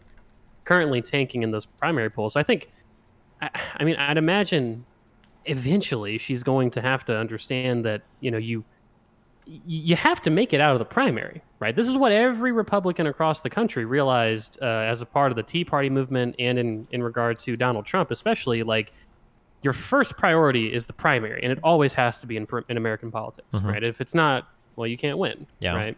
Um, and so, you know, I I, I I- I would imagine that Kyrsten Sinema hopefully would would get that through her head eventually, but. Um, but anyway, back uh, back to your broader point, I do I do agree that people moralize to to a great degree in in economics. Um, I'm just not sure necessarily what the most effective way to respond to that is. Right. So, uh, one of my friends said that uh, one of my actual like real life friends, um, they still exist. Uh, he said that you know in the in the debate you had with Vaush, um, you as in you or me as in you as in me Eh, oh, uh, the not the Roy you, the the you that's uh, like my friend referring to me. okay uh, as the you gotcha okay Um, sorry just making sure I understand yes. so which debate you're talking about okay go ahead Uh, so when my friend said, you know, in the debate that you like, meaning me, had with Vaush, um, I can see how people would say he was like more rhetorically effective Mm-hmm. because he's giving like a much more impassioned sort of Help the broad poor. scope. the IMF you know- is yeah, exporting. exactly, kind of that thing. shit, and yeah. whereas I'm giving like what I would argue is a much more factually accurate take uh, in a much more sort of apathetic, sort of calm way. So I mean, how do you how do you mesh both of those realities at the same time and come out on top? I think that so I think that when you're going to have these types of conversations, you have to like be very focused on outcome and you've got to hammer it home over and over and over again. So like saying things like, "Hey, like I want to get this done. Like your plan doesn't do what you want it to do." Right? And then try to find like a few edge cases where it's like, "Look at what happens with your plan. Look at this. This is bad or whatever." So like for instance, like and it's hard because like since I try to work on my rhetorical effectiveness, now no left-leaning person wants to debate me because they don't like to look bad because I'm like a literal Nazi on the internet, so it looks really bad if you look bad against me. Um, so something I'll try to do is that like let's say that we're arguing for rent control, um, I, like my argument might go like, well, let's have a factual back and forth about the rent control, and then the examples that I'm going to pull from are you've got you know single people that have three bedroom apartments in New York that never want to sell or move because they're in such a privileged position. Like, do you think that's good? Or you've got poor people that want to be able to move into LA or San Francisco, um, you know, and these poor workers can't do it because you've got wealthy people that are hogging these rent controlled units because they don't want to leave. They don't even live in these units. Sometimes they just move away and they hold on to them. Um, so like being able to hit hard with examples is really important because it's the only thing that humans grab onto are examples. Nobody likes or cares about data unless you're a weird data person. Um, yeah. So No, that's true. Uh, if you guys have ever, uh, w- one of the one of the greatest debates from my perspective as like a data person was when this guy named Alex Nowrasteh debated Tucker Carlson on his show about immigration, and it's it's a perfect, it, you know, it's it's very emblematic of what you just said, where every single thing Tucker said, Alex Nowrasteh is immediately like, well, you know, this stat, that stat, what you just said isn't true. Um, you know, here's, you know, here, here's how we can frame it more positively for immigration. He's from the Cato Institute, so it's immigration. yeah, super And, immigration. Um, yeah, and uh, he's like a total open borders kind of guy. Cato and, Institute, yeah. Uh, Loved by Republicans Yeah. until it comes to immigration, in which case all libertarians magically become Yes. fucking authoritarian, like anti-immigration advocates, protectionists, socialists. Yeah, it's insane, but well, the Cato Institute loved by Democrats when it comes to immigration, and then hated when it comes to things like any economic policy whatsoever that advocates for yeah less friction in markets and whatnot. Yeah, but that that's like I'm, I guess I guess I would just struggle to find those sort of ground level examples when we're talking about like such an abstract concept. I guess the argument could be that, um, you know, well, well, I, I guess on one hand he seemed. He, I don't know. Vaush, made like a series of odd sort of stepladder type arguments regarding like corporations. He never really addressed the point on ESG investing, which I thought was pretty core to my argument. But I, I think at the same time he was saying, well, um, like have there been like any moves i talk about a move you know chase bank going to the renewable energy sort of uh, portfolio standards mm-hmm. oh well that's just a pledge you know what, what's an example of a company doing something today it's mm-hmm. like okay well Oh, companies engage in charitable activity today and it's like okay well I didn't well- know well, this, that's but- not even a lot of their money like i want what, what is Yeah. like a significant He wants them to suffer. Apparently, people were saying there are multiple big tech companies that have reached net zero energy and are looking to move negative. I didn't know that. Apparently, Microsoft Nah. and Google are both net zero in their emissions or whatever. I knew that there were companies that were net zero, but obviously he's ta- he's asking for a specific example. But I think the Mm-hmm. the reality is in that debate, even if I had said, "Oh well, you know, Google and Microsoft are net zero. Mm-hmm. Microsoft's been net zero for like almost a decade now," I think he would have just said, "Well, well, of course Microsoft's net zero, right? They don't have like a carbon intensive business model. Like I need an example of like a business that is carbon intensive." That does a shitload of cuts for their carbon energy, not because of investor demand, just you know because they wanted to do it, and you need to prove that like that hurt the business. And it's like, well, I don't. I, You're never I- going to satisfy. I don't need. Yeah. Well, yeah, it's like I don't. I, that, number one, that's that's probably not true to be fair, but it also doesn't have to be true. Mm-hmm. Like you, you see, like for instance, the the major oil companies are some of the biggest investors in like renewable energy. That's not some like neoliberal propaganda. It's that's true, and part of it's because they see the writing on the wall. Like they want to get into these emerging industries Mm-hmm. because they don't see oil and gas being sort of you know the, the next hundred years being sort of the energy uh, company mainstay. You know, they still want to be around in 100 years, and Yeah. they're not going to be if they focus on oil and gas. Um, some of the biggest investors in carbon capture have been oil and gas companies, right? Um, and so, you know, that, that that's one example. But I just I, I think that it like the thing with ESG, ESG investing sort of proved the idea that um, you can actually make profitable investments that are socially conscious at the same time. That's why it's you know that's why it's a boom. Like it's sort of a new realization for uh, the market. Um, but anyway, I, I, thought that was that was a, an interesting sort of portion of, of the debate. Um, but I, I did I did I guess I, I would give Vaush credit that I don't I don't really recall. Um, I don't recall Vaush ever having like a real like a as dense an economic debate as this was. Like he doesn't really talk about economics as much. Yeah, I guess the thing that kind of irritates me though is that like, and I hate to say like Econ 101 because everybody always throws it around, and sometimes they say really dumb things with it. But like, I think there are a couple of like really fundamental concepts. I wish some, I wish everybody kind of knew so we could start from a similar place. Um, so like one huge one, for instance, is like economics is not a zero sum game, and I like Marxists have that approach because of how they view like labor and exploitation. So every single like labor plus capital union is necessarily a moral evil because some capitalist is like scraping pro or whatever. Uh, but like th- this, Yeah. I, if if people would start like if like that's one foundation, like hey, you know, like in economic transactions, you can have two winning parties. Like that's totally possible. It happens all the time. Um, that and like basic concepts like comparative advantage. Just because one country is manufacturing something else doesn't mean that there is like some inherently horrible, evil process going on. There might be a variety of reasons why they're just better at manufacturing that particular thing. And There's nothing wrong with capitalizing on those advantages. Um, Yeah. Yeah, I, I think like a few things like that could just all of the conversations about this stuff just suck. They're just so horrible because like people are so dogmatic It's- in their approach to it, and it's like if a capitalist country's doing it, the only possible reason is because they're fucking evil and horrible. And it's like, all right, dude. it's hard to it's hard to take into account all of like the dynamics at play in an economic system. So like um, one thing that Joeri from the Money and Macro YouTube channel, who um, like we we kind of started doing YouTube around the same time, but he just fucking exploded way past me because to be fair, his videos are way better edited uh, than mine are. Um, but he uh he he commented on the video and we we kind of keep in touch. And one thing he pointed out was. Um, well, you could actually make the argument that capitalists would want to end unequal exchange depending on the firm, because obviously, if there were worker parity, that would mean that workers in the global south are getting paid the same, like relative to their production, or potentially, you know, just equally to workers in the global north. Well, that would mean lower wage costs for domestic firms as those wages equalize over time.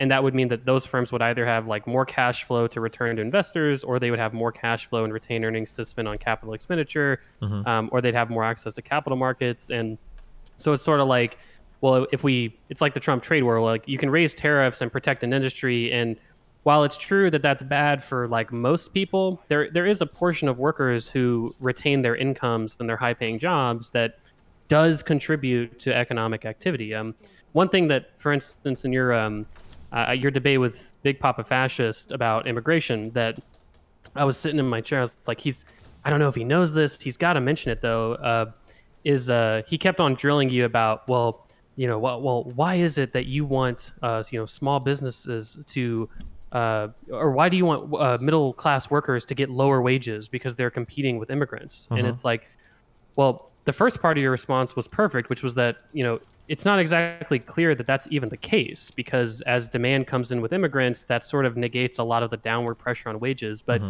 even if we agree, which was the second part, I wish you had you had said, which was that even if we agree that there's like very marginal, depending on the actual industry, decreases in workers' wages, that's not necessarily the worst thing because artificially constricting the pool of labor and forcing businesses to pay higher wages constricts their ability to spend on capital and technology, which is I the think- two other long-term pieces of economic growth. So hurts the economy. And while that's true, it is such an entirely pointless argument to bring up because to most people, every corporation is running on like a 200% profit margin or some profit margin that's infinitely deep that they can Well- just well, draw maybe- money out of. And it's like, oh, because even Vaush said this in your debate, and you'll hear this from from Marxists so many times. Like, well, why can't they just take a cut to their profits? Why can't they just take a cut to their profits? And it's like.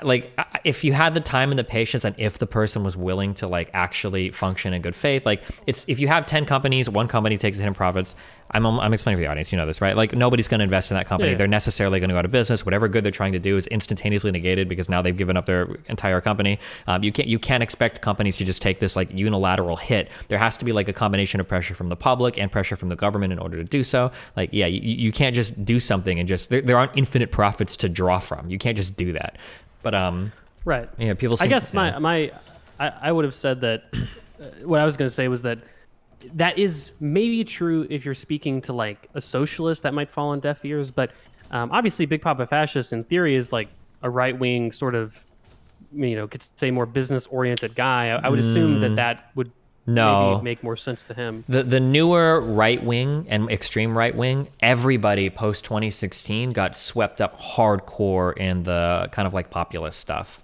So everybody hates big business and shit now. Everybody hates large corporations. Well, the new Republican Party is I- not the neoconservatives of old. I don't. Know. No, that's true, but I mm-hmm. think I think right wing populists hate big business not because they're sitting on their mountains of profits and like starving the global south or anything. They hate big business because they're like woke you know, culture war enabling, you know, conspiratorial, you know, propaganda pushing organizations and stuff. It's not more on.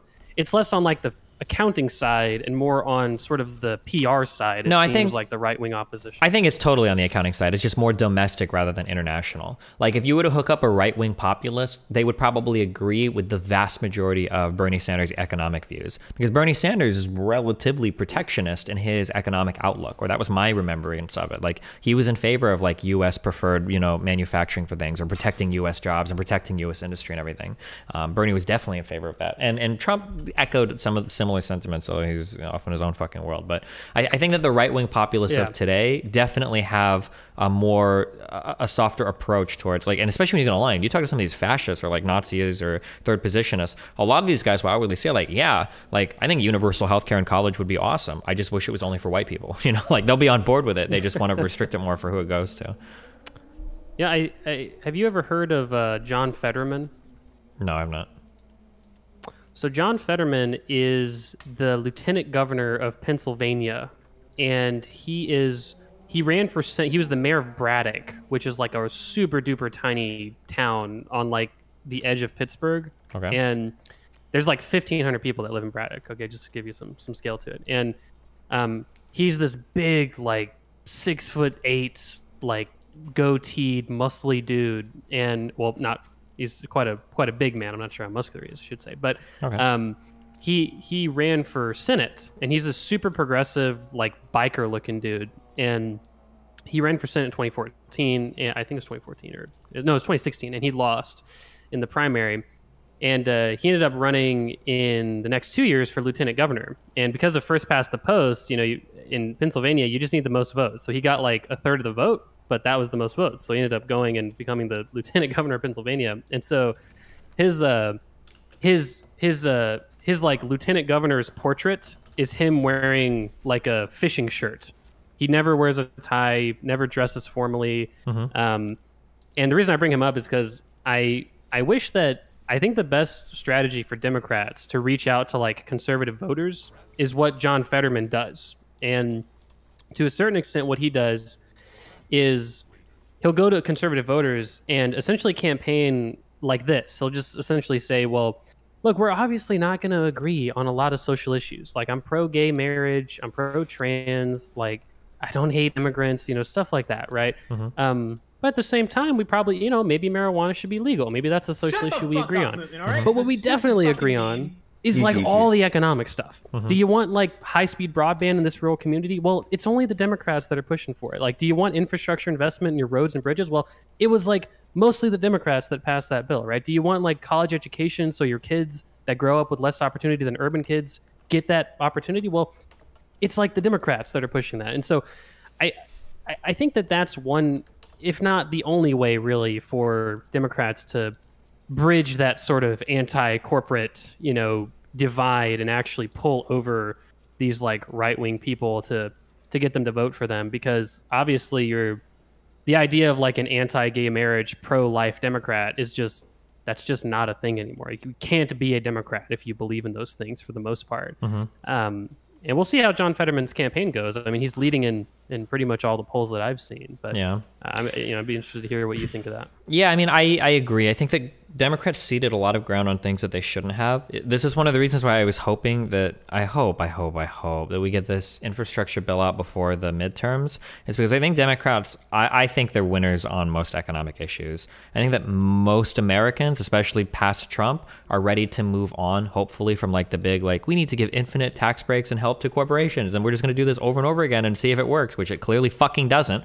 Um, and that's, that's why I was so excited for the infrastructure bill. But goddamn, dude, if we would have just had like fucking two more senators, or, or, or even like one, like even like one more senator, like fuck, dude, trying to do things with 50 senators is just a goddamn fucking nightmare. Holy shit! And if we don't get Yeah. the infrastructure bill passed, I don't know, man. I I I think 2022 is just a total toss up. I think anything could fucking happen. Nobody knows. Um, No, no. If I, I disagree. Uh, if we don't get the infrastructure bill passed, 2022 is going to be a, a bloodbath. It's going to be a disaster. I think. Yeah. um, for Democrats, um, I think.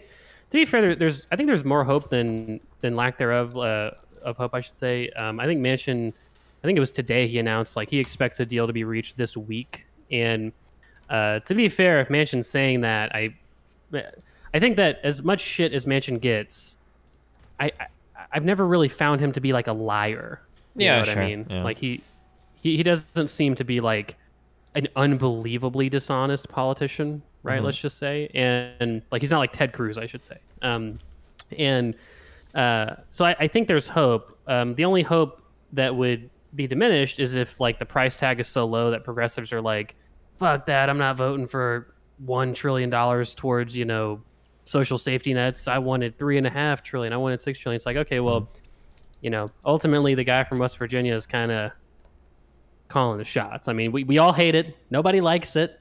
Okay, but that's fucking how it is. And uh, you know, I'd rather, you know, I'd rather the portions of the bills that are agreed upon get passed than like none of those bills. Because because what's on the table, because they linked the two, isn't just three hundred, you know, fifty billion dollars a year or something in social spending. It's also, uh, I think it was one point nine trillion. So it's it's one point nine trillion over five years. So you're talking about like another uh, what would that be? Uh, four hundred billion dollars a year in also physical infrastructure spending, which obviously this country really really needs. So yeah, it's Jesus it's like Christ. it's like this it's like the size of the military budget every year in like good human and physical infrastructure investment that could be happening over the course of the next half a decade and decade uh, that is on the line. So I don't I don't think I don't think progressives would tank it if it's like one and a half trillion like Manchin's saying. So and I think Biden will be pushing for it really hard. Um, my favorite politician in the whole country right now is Ro Khanna because he he does the best job at framing his side of the argument, and I think he does the best job at setting discourse. Republicans, I Oh think, wait, is this an Indian guy? um, I believe he's Indian. Yeah, he's a Hindu, if I'm not mistaken. Oh, Uh, okay. he's like a S- Silicon Valley congressman. I think we watched him do a debate with Ben Shapiro. Does this sound like a thing that ever happened? He did debate. It was like a 15 minute debate Yeah. on minimum wage. Yeah, yeah, yeah. Okay, I think yeah. Oh, I actually saw him have a conversation, and I was actually so happy. Not that it matters, but I was like, oh my god, this guy has like at least a basic. Un- he's not just saying like the normal Yeah. dumb fuck talking points. He has like a basic understanding, at least, probably Yeah. more, but he has like at least a basic understanding of like um like econ, and it was really really nice to, to listen to. I was like, thank God. Yeah. No, he's got really strong uh, progressive sort of standing. He was actually the he was the first Justice Democrat in Congress, if that means anything. Like he was a very sort of frontwardly progressive politician. He pre- like the way he won was primarying a more conservative Democrat, um, and he's been in Congress for like I think six or seven years at this point. And um, what I was going to say was he's really good at framing the message. I think Republicans oftentimes uh, get away with some pretty like toxic framing of things. So like uh, for instance, referring to like the estate tax as the death tax is an example of like or the really, Obamacare really, is like having framing. death camps and shit. Yeah. Yeah, yeah. What death panels? Yeah, Death panels, exactly. yeah, Um, you know, you're gonna lose your doctor, kind of stuff. And uh, Ro Khanna has been like one of the most awesome framers in terms of this whole, i- in terms of both defending progressives and pushing for Biden's agenda. So I think one thing that he started that really helped, I think, the human infrastructure element of this bill remain in place was him constantly, every single time. He takes like every interview that gets offered to him. Mm-hmm. Every single time he'd get interviewed, he'd say, Look, it is not the progressives that are holding up President Biden's agenda. It is the moderates. The progressives are step in line with mm-hmm. everything Biden has proposed so far. It is not us. It's the moderate Democrats. And that actually caused people like, you know, Chris Cuomo and MSNBC and these sort of left or, or left-leaning media outlets to uh, put the pressure much more on moderate Democrats in a way that I don't think they've ever really felt before. Because it's historically, it's always been the progressives who don't want to do anything but end up acquiescing in the end anyway. Yeah. Um, whereas this time, it's it appears to be the exact opposite. And Ro Khanna got ahead of that framing um, very well. If there was a if there was a Democratic primary in 24 that didn't include Joe Biden, uh, I would I would I would say Ro Khanna would be like a pretty good choice um, if he could get the support. He's just a congressman, of course, but um, you know he'd, he'd be a good one uh, overall. But yeah, Yeah. all right, bud. Well, it was how how late do you stream, man? It's late as fuck where I live. Um, I normally stream till 10 PST, um, but I just got home today and I started a little late, so I was like, oh, fuck, I'll stream a little later. Uh, I see. I see. All right. Well, all right. But well, it was fun talking to you. Uh, I guess. Uh, I guess you're about to get off from from the sounds of it. If that's the case. Um, Is there wait but, uh, real quick for because you apparently you've seen some of my stuff. Is there any econ shit that you think I'm wrong about? That you disagree with? Um, I used to think that I disagreed with you on buying a house, but then I had to because I was like I was considering messaging you and and talking to you about it, but then I, I was like, okay, if I'm gonna message Destiny, like a lot of times when you debate people, it's just someone sending like a tweet that's like, hey, I disagree with you, and you're like, all right, well, batters up, bitch, mm-hmm. like you're, let's debate, and it's like, okay, well, if I'm gonna if I can call Destiny out on something, I got to be sure that I both know his position and know that he's wrong about it. But when I rewatched it, it seemed like what you were saying wasn't that wasn't that renting is always better than buying. It was There's like a buying a time home. Well, not that. I think what it seemed like what you were saying was that buying a home is not really the most effective way to build wealth if that is your like primary concern. Sure. right? Yeah. um, yeah, obviously there's ways to, to build wealth uh, otherwise. Um, in terms of other economic takes uh, that you have that I would disagree with, um, hmm, that's a good question. Um, what, what do you think? Uh, the what do you think the capital gains tax rate should be? Fuck. I've. I think it should be higher for more revenue. Now, what should the exact number be? Some people have talked about matching capital gains with ordinary income, and that feels high from an emotional point of view. Um, I listened to a podcast with the Noah No Opinion guy and some economists talking about how when it comes to like cashing out stocks and stuff, like capital gains is just part of the game. You kind of just factor that in. Um, and then I've also heard that it's like capital gains taxes are kind of like it's almost like a double tax because this is already money that's you know been taxed one time. Um, I don't know. I think I think it would come down at the end of the day to seeing. I, I guess like maybe if there were more brackets for capital gains taxes, maybe I'd be a little bit more because there are only two right now, right? No, there's it's like a step ladder. Well, well when you say there's two, there's like I might be totally wrong. Maturity. Yeah, no, I- aren't there literally like two or three brackets? Am I crazy on this? I might be wrong. I gotta check. So there, the way that I understand it is there's, or well, not the way I understand. The, the last I saw it, it was progressive step ladders for both, Mm-hmm. but the matrix was uh, for like if you held the stock longer than a year. Oh, yeah, like so- long-term holds. Yeah, this is the difference between like short-term capital gains versus long-term capital gains. So, um, because short-term capital Yep. gains is just going to match your ordinary income, whatever it is. Um, for long-term capital gains, so there's three there's three brackets. There's 0, 15, and 20%. I think if these were like maybe a little bit more step laddered, kind of like our federal taxes, maybe I'd feel like a little bit more warm to it. Like, yeah. Yeah.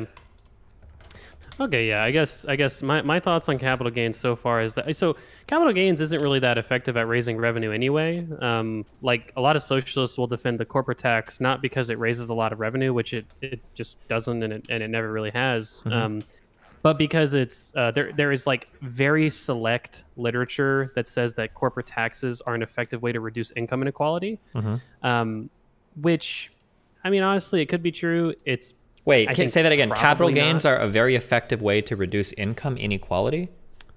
No, corporate taxes. I may have misspoke. Oh, oh, So, corporate. like, ta- oh, sorry. Okay, I'm gonna social- misheard you. Yeah, um, and there's very select literature which which espouses that idea, and um, I haven't engaged very deeply with it, so I couldn't say one way or the other. But what I what I could say definitively is that, based on the research that shows that not a trivial amount of corporate taxes are passed on to the consumer and to the worker.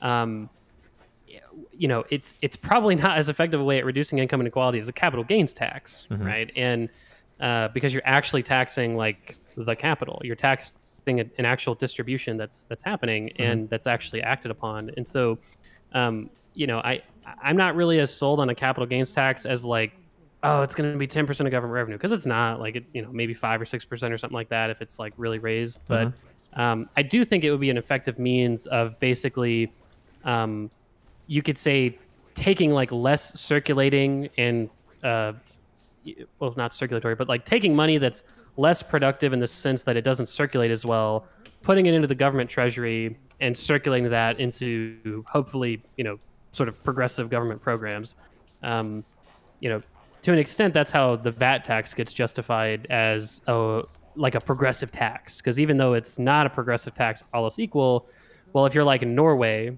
and you know 30% of your state revenue comes in the form of a VAT tax, and that just goes immediately into funding like a crazily expansive welfare state. Well, I mean, if it raises the revenue, it raises the revenue, and if it pays for the programs that help needy and poor people the most, well, it pays for those programs, right? So Mm-hmm. you, you can justify those types of taxes uh, in that way. Um, how do you feel about sin taxes? Um, I like them. I think they're good. They're regressive, but I don't care. I, I don't think I don't think something being regressive is necessarily a bad thing. Um, and I think sin taxes are one of those examples where like, eh, it could be regressive, but fuck it. All right. How about uh, amongst the different healthcare models, if you could snap your fingers and pick one of them, just implement it in the United States, which one would you pick? Um, based on my firsthand experience with European systems and the select literature I read when we were doing Medicare for All stuff, I think some form of multi-payer is good. So like a public option that everybody can like more or less either buy into or get into for free because they don't have the financial means otherwise, with some sort of private layer on top if you choose to pay for it. I think is I think it's fine. Yeah, we I guess we disagree on that, but I'm I'm instead of being a soft multi-payer advocate, I'm a, I'm a soft single-payer advocate, which you know, anytime I do a healthcare video or like a debate or anything like that, I try to point out that um, there's like three models, and one of them is totally private, subsidized, and heavily regulated insurance. That's what they have in Switzerland and in, Nether- in the Netherlands, and you know, it's it's equitable, it's affordable, um, and it's quality, right? Uh, there's like multi-payer systems like France and Germany where you've got like kind of a public option, but then you can have private insurance competing, which seems to work quite well. Uh, and then you've got like single payer systems like Canada where they just pay for the insurance, and then single payer systems like the UK where it's basically a nationalized industry and like if you go to a hospital, it's not just the insurance, like basically the hospital, those are all state employees that work there, right? Yeah. So those are like the four systems and it turns out they can all work incredibly well. But what doesn't work is whatever the fuck Frankensteinian mishmash of shit we've got going on in the US where you've got like Medicaid for like very poor people, Medicare for very old people, uh, and then everyone else is kind of stuck in the middle, like with this really inefficient and quasi unregulated insurance market. Um, that was part of what Obamacare did that was good, um, but Obamacare is like a really, really like poor framework of what the Netherlands does with their health insurance. Um, and uh, if we did something more like that, it would actually be very, very good. Um, so you know, you, when talking to a socialist or a conservative person, it's just important to point out that, like, to the socialist, you can actually have a private health insurance system that's actually really, really good at extending care that's quality and equitable. Wait, Um, and when talking to a conservative, the opposite's true. I feel like I would challenge that. Is that true? Because like, I don't know if I would count Switzerland as anything, because it, like, isn't Switzerland literally the highest GDP per capita country in the world? I've been to Switzerland and it seems like a perfect country, but I feel like you got to be pretty wealthy to live there. Like the scenery is beautiful, the public transit is I- perfect, like everything is. I don't think I don't think it's highest GDP per capita. You're probably thinking of like Luxembourg or like maybe Qatar or something like that. Um, Sure. Don't get me wrong, Switzerland's obviously like a really rich country. Um, but uh, the sort of the structure of the Swiss healthcare system is very similar to the structure of the Dutch healthcare system, which is just basically that companies compete nationwide and they're forced to compete on a single exchange. There's an enrollment period similar to Obamacare. It sounds very similar to Obamacare, like I'm describing, but all insurance companies compete on the same exchange, unlike Obamacare. It's nationwide, not statewide.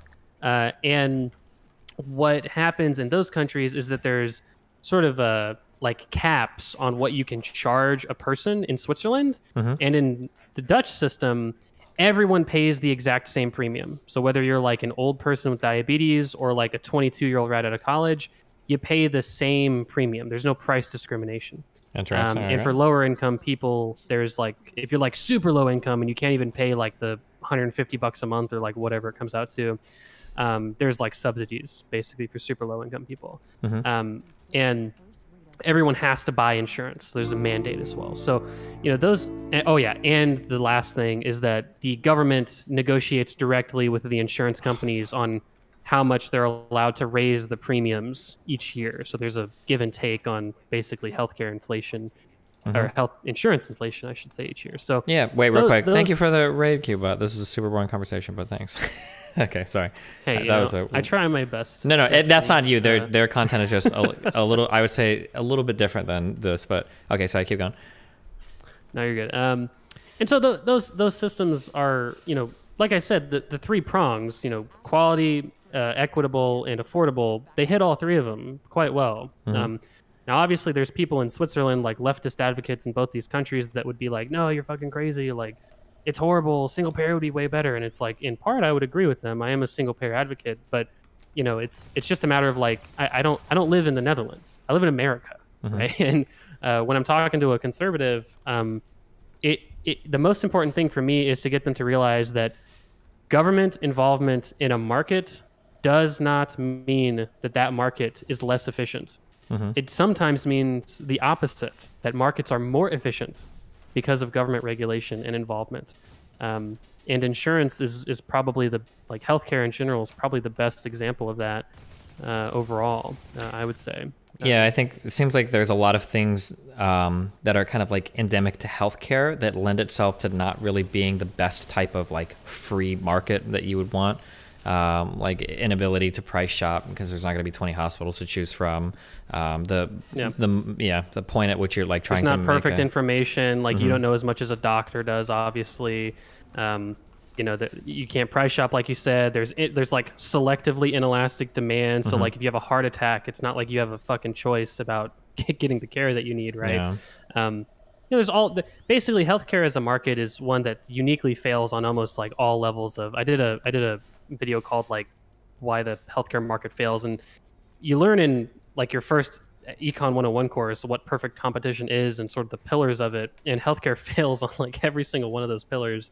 Um, and it's you know i guess it's not surprising to see that uh, in the us where we have a less regulated but also like selectively you know government administered healthcare system how it can be quite an inefficient uh, an inefficient system. I mean for a conservative all you have to mention uh, like I, i've never seen a conservative like convincingly argue against this case which is the idea that um, even amongst the- like if you take Switzerland, which is the most expensive country amongst like developed economies in terms of healthcare spending per capita, Mm-hmm. we still spend 50% more than them.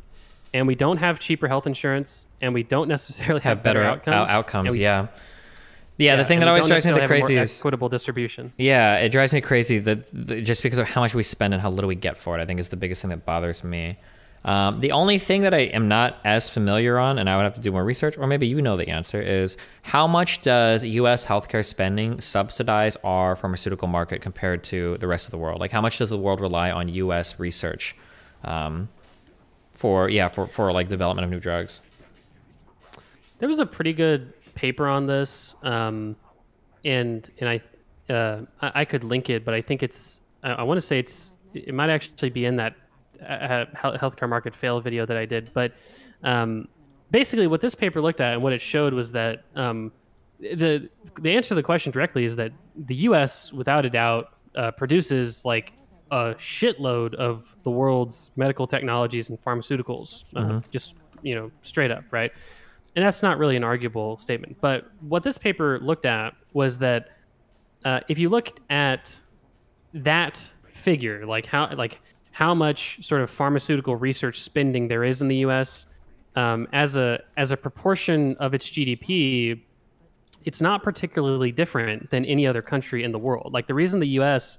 seems to innovate the most on healthcare and, and pharmaceuticals uh, is, is is the biggest, right? It's the most developed country, singular country uh, that spends the most because it's the biggest, um, and it's not like some you know component of U.S. regulation or economy that makes that so to to a sort of a certain extent. And so I think what that paper told me was that um, well, number one, it's irrelevant because when we're talking about health insurance and healthcare, pharmaceuticals are usually separate anyway, right? So there's no reason the pharmaceutical industry would change at all if we had like a single payer system, um, like at all actually, because it's it's just health insurance and then you got pharmaceuticals, which is a totally separate industry. Talk about nationalizing the pharmaceutical industry, that's a, te- a separate conversation. But um, even the most extreme example of like, oh well, what if we had like a basically a single payer like pharmaceutical system like the NDP proposed in Canada? Well, I'm not really convinced, based on the data, that uh, one pharmaceutical research would actually go down on the private sector. They're still incentivized to make these drugs because two, the government would still have an incentive to have those drugs and research be created. So either in the form of like government contracts or you know prize pools uh, or simply being able to market your your product um, i'm not really convinced that it, that that would lead to like a huge route in spending like for instance um, who has the most innovative military in the world well it's the us why do we have the why, why is that the case well it's because we spend the most on it um, how could we have such an innovative military if it's a, a single national industry. You know, it's government. Well, it's because we have private contractors that compete for bids out of that U.S. sort of pocket of money. Um, and even in the case of a nationalized pharmaceutical industry, which, to be fair, I'm not advocating for, um, I don't really see why that structure would be quite so different. Um, Yeah. in my opinion. But the truth is, every single payer system has a private pharmaceutical, you know, industry anyway. Like the UK, Norway, Sweden, um, you know, Canada. They all have private uh, pharmaceutical industries uh, with private research and separate regulations. And um, I think that's what I would favor more so than, you know, like nationalizing both healthcare and pharmaceuticals at the same time. Because uh, the truth is, um, if you have just like government negotiated prices, you don't really need to nationalize that industry really at all, right? I mean, it, Yeah, because it it'll just kind of take like care of a more- itself. Yeah. yeah, it's like a more virtue signally kind of thing where it's like, oh, you know, I, uh, uh, like, I, I just want to nationalize industry because it's like pharmaceuticals, you know, and, and that's not. Yeah, or like the weird arguments come out where it's like you shouldn't have to pay for something you need to survive, and it's like okay, but I think markets solve for like groceries like pretty well. Like I don't think, and we need food to survive. You know. Yeah. Well, exactly. Like, there's, you know, I, it, that's exactly right. Yeah, and I think market, um, you know, I, I don't know. I don't know how that kind of thing gets justified because because things like things like food and clothing and you know stuff like that are like some of the maybe the most efficient markets that you could have uh, a- ab- absent government regulation. You still have a lot of government regulation in food and stuff, obviously, but um, it's it's quite an efficient uh, market. But Oh, no, he- I, I don't I don't think. Yeah, sure, go on. Here's a question I have for you, because I end up fighting with this all the time. Do you have a huge preference between like um, means tested versus universal programs? Um, I guess I guess I, I guess to a certain extent, it just depends on the program. Like, uh, I'm a huge like forgive student loans guy, but I'm also a huge it needs to be income based kind of guy, right? Because obviously, if you're if you're if you're forgiving like ten thousand across the board for everyone, that's not as efficient because like there's a lot of people who really really need that forgiveness more than others. And also like the 10,000 of forgiveness for like you know a, a resident doctor is going to do a lot less for the economy than like 20,000 of forgiveness for like someone who Like got their sociology degree. Yeah. yeah, or, or like a teacher exactly. Um and so you know I, to me i think it should be income based um, or even like you know profession based like i like i'd be okay if it's like oh if you're like a firefighter or you know a teacher or something um, or maybe like a federal employee like maybe you'd be first priority or something like that. Um, because it's it just doesn't circulate money as well to you know give money to a bunch of higher income sort of way super duper high potential earners. Um, but I, I do think that with a significant portion of programs um, that it's it's justifiable it's I'm sorry it's justifiable to make them universal um, because I think to a certain extent it makes them more robust. Um, I know that in terms of education, like if like free and universal education, that's been shown to get cut back before because to be fair, not everyone goes to college, right? So not everyone has like an incentive to care about giving everyone free college, right? Um, and so you know that's one where I would advocate for free and universal college, but I'd also add in like uh, you know trade school and technical training and community college and stuff like that as well to try and get more people interested in that kind of a program. But um, you know, I don't I don't really see programs like Medicare or Social Security being better if they're means tested. It seems like a good thing that everyone has sort of a similar investment into these programs and that everyone pays into them and everyone takes out of them assuming that you live long enough obviously to to take out of them um, you know especially for like basic welfare things like you know income supplement programs, healthcare programs, um, you know, f- uh, food supplement programs, stuff like that. Um, I, I think there's a strong argument for those things being universal because everyone's need for those things is universal to a certain extent. Like everyone needs childcare, everyone needs like, you know, uh, you know, health insurance, right? Uh, you know, everyone needs, uh, you know, as much, you know, uh, everyone needs food, for instance. Um, you know, that that's where like, you know, a, uh, you know, it, it- an interesting conversation is like regarding like a UBI versus a negative income tax, right? Um, and I think that um, I think that as as a as a means to get rid of welfare, so some people view UBI as a way to get rid of welfare, you know, Sure. because it's like oh, simpler That's like the negative a negative thousand framing of it. Well, that could be negative or positive. I know that some progressives um, view it as like an attack on welfare, basically. Like they'll say like, "Oh, Yeah. you only want to do this because you're trying to kill you know, welfare programs." Yeah, no, and it's true. It's true to a certain extent that um, there's there's a lot of people who receive more benefits in terms of their unemployment or their food stamps or their WIC or whatever it might be. Like the value of those benefits is more than a thousand dollars a month, and so kicking those people off and putting them on a UBI um, would be bad for them. Sure. Um, but uh, if if your goal is like getting rid of, if your goal is is basically To make sure you're replacing cash- everything that you've like kicked people off of at the very least, right? Yeah. Exactly. If your goal, like, because I like the idea of an NIT as a way to replace welfare, if it's higher than a thousand dollars a month, right? If you if you if you have a negative income tax and like the the floor rate is like twenty five thousand dollars a year, right? Um, well, I mean, uh, like, t- t- well, call it thirty thousand dollars a year, like a living wage kind of thing, right?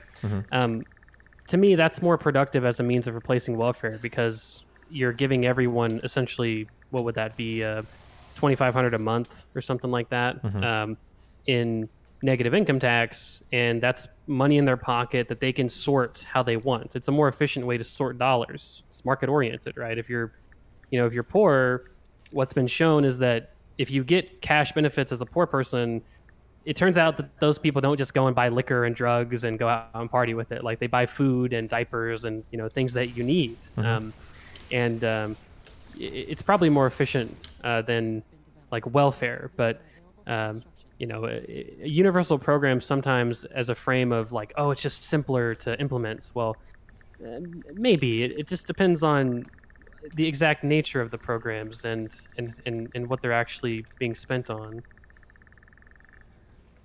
Um, yeah, sure. Yeah, I, I don't necessarily disagree. Um, some people have like a very dogmatic attachment to universal programs for kind of crazy reasons. Um, I think sometimes universal programs can be good. I think it depends. I feel like I've read a lot of negative things about universal education. That having price tags um, attached to education seems to be beneficial. I'm most um, familiar with like the UK, where initially they had it like completely free, and then eventually they changed it to requiring uh, like just engaging in forms of price discrimination, basically ensure that there's still access to education, um, but you're collecting money where you can because the price tag for it becomes like so high that it's hard to fight for that funding on a Yeah. political level, basically. But yeah.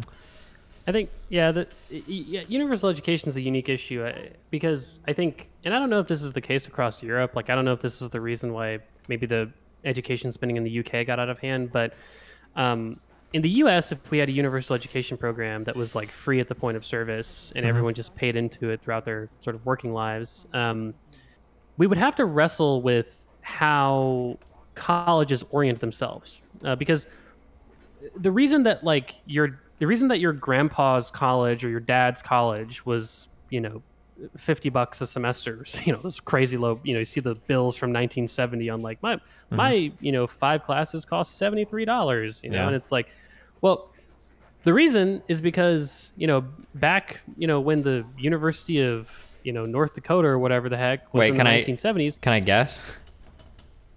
Is, Yeah, sure, Is it probably because the economic advantage conferred by these degrees was way, way, way less than just like working a trade or being like a normal wage worker? Uh, no, I actually I don't I don't think that's the biggest thing. I think the biggest thing is that um, when state level funding got cut from a lot of universities, um, and when college athletics became a much bigger thing as well, sort of uh, additionally, um, universities started competing with uh, each other, not just in terms of the quality of their education, uh, but also uh, the student life that they could offer. You know, hey, don't don't go to some bullshit community college and you know li- small liberal arts school. Come to the you know University of Texas at Austin. We've got you know student housing and we've got two gyms on campus and we've got restaurants and we you know huge gigantic stadiums and stuff. And they offered more of like a complete package of the student experience rather Oh, than sure. just going Okay. to class and going home. Yeah, and so Something that's I- I really that- mind blowing to a lot of Europeans um, is uh, U.S. state schools are fucking huge compared to like an Oh, yeah. average European college. Um, and it's funny because like sometimes like if I'm streaming the early hours, like when I bring up like the gym in my fucking like state school, the University of Nebraska at Omaha, which nobody has heard of or knows about, is like a fucking like would be like one of the biggest like gym areas like in all of fucking Europe, and that's just like a no name Yeah. shitter like state school. Um, yeah, colleges in the United States are fucking massive. Yeah. Yeah, and when you if you if you you know like Texas A and M in in in uh, in Texas, uh, well obviously where I'm from. Yeah. Um, you know if you didn't uh, figure that out, uh, Texas A and M is in Texas. Um, but Texas A and M, uh, they have like they're the biggest I think by enrollment college in the country. They have like over they have like seventy thousand students that go there every year. Um, and uh, College Station, the city where uh, Texas A&M is, is like a small rural town. Like this, this town is only on the map because of the you know s- six figures almost of like students, staff, and professors that that go there every single semester. Um, and if you look at like the bill, if, if, if you had a breakdown of the tuition and where it went and the student fees and where they go, what you're going to find is a significant portion of it like i don't want to say like 50% or something but like i would say easily 20 to like 45% depending on the college is going to be um, your athletics program which to be fair is revenue generating. So mm-hmm. th- it's not like a total loss mm-hmm. but you know to a certain extent it's going to be subsidizing college athletics because almost every program's at some sort of a loss. Mm-hmm. Um, to a certain extent it's going to be like your parking fee and your student life fee and your rec center fee and your student center fee and like all these different fees that have to be paid for because the government or not the government because the university took out a bond to build a building and they passed a referendum to charge a fee for it so they could pay the bond interest like that those are all the fees you're paying when you know you're a you're a student um, and to a certain extent it's also going to be all the services like my college had um, had a career services department. Some individual, like my university, had a career services department, but then sometimes like the engineering and business and class, like they had their own individual career services that had to be paid for. Um, all the career fairs that get put on, the the networking events, um, the the industry meetups, right? All the activities that are funded uh, by school. Obviously, the housing that I just mentioned that you know wasn't a significant component back in the 1970s. So all of these things add up to like a really large portion of the cost of going to like a big major university. And so if the U.S. had university or if the U.S. had universal college education, um, I think the federal government would have to implement some sort of a like negotiation or price control thing where you know if you know if we're paying for all of your students tuition we don't want to create some crazy moral hazard where you just build and build and build and start having these crazy exorbitant expenditures. And there probably needs to be more of a refocus on you know going to college isn't to have like the college experience. It needs to mostly be about getting an education you know not necessarily having like that sort of movie-esque college experience because um, you know mark you know to a certain extent it's a market and the market uh, sort of demanded that experience and so uh, you pay for it you know and, and uh, uh, so that's i think i think that's why university universal college in, in the united states is like a more complicated question than maybe in other countries because i Sure. guess like you said maybe in european countries they don't have that problem like colleges are super small and still not really like focused on student life as much and uh, i think uh, I don't think college sports is really a thing in, in Europe either, so that's not really. Yeah, I'm sure you've seen like the map where I want to say like it's like the highest paid government employees in every state, and in like 35 states or whatever, it's like the football coach or whatever. Oh yeah, for sure. Like um, I, I didn't go to like the biggest. Well, I went to like a fairly large university, but like my my university wasn't like in a big conference or anything. Our, our football team wasn't particularly good when I went, uh, but I think our coach made like four million dollars a year. He Yep. made like he made like four times what our chancellor made. Like the head of the university made less than the than the football coach, um, and uh, probably honestly made less than the basketball coach too, because you know got to pay the basketball coaches a pretty good amount as well. So um, anyway, but that's that's an interesting uh, you know little aside there. Any more questions? Any more questions? Um, I don't know. Now that I can think, think of, unless chat can think of anything. All right. Well, if chat, I'll, I'll give chat maybe 10, 15 seconds to come up with some decent questions. If not, I'm gonna I'm gonna ask if I can shout myself out and go to bed. Oh, how do you feel about wealth taxes? Well, taxes are something that I need to look more into personally. Um, so, on one hand, you'll have, um, on one hand, people make the reasonable argument that, well, everyone pays a wealth tax for the most part because we all pay property taxes, right? So maybe it's not as hard to implement. But I think that that's like there's a whole like infrastructure that's been developed over the course of like a hundred years that determines the value of properties, and that's kind of where we see ourselves today, which it's a little different than sort of trying to determine and it's also a single asset which makes it simpler so um, whereas if you if you had like I mean, my, my god trying to determine like the exact net worth of all Yeah. these millionaires This is always billionaires would be my biggest criticism is that like uh, tax should be relatively easy to levy and calculate, and the like the IRS is Yeah. already horrendously underfunded, and the and idea hard to of avoid yeah, and the idea of trying to get like agents to come to your house to start doing like audits and valuations of your of of your net assets, it just seems so unbelievably complicated. I don't know, it just seems like a disaster.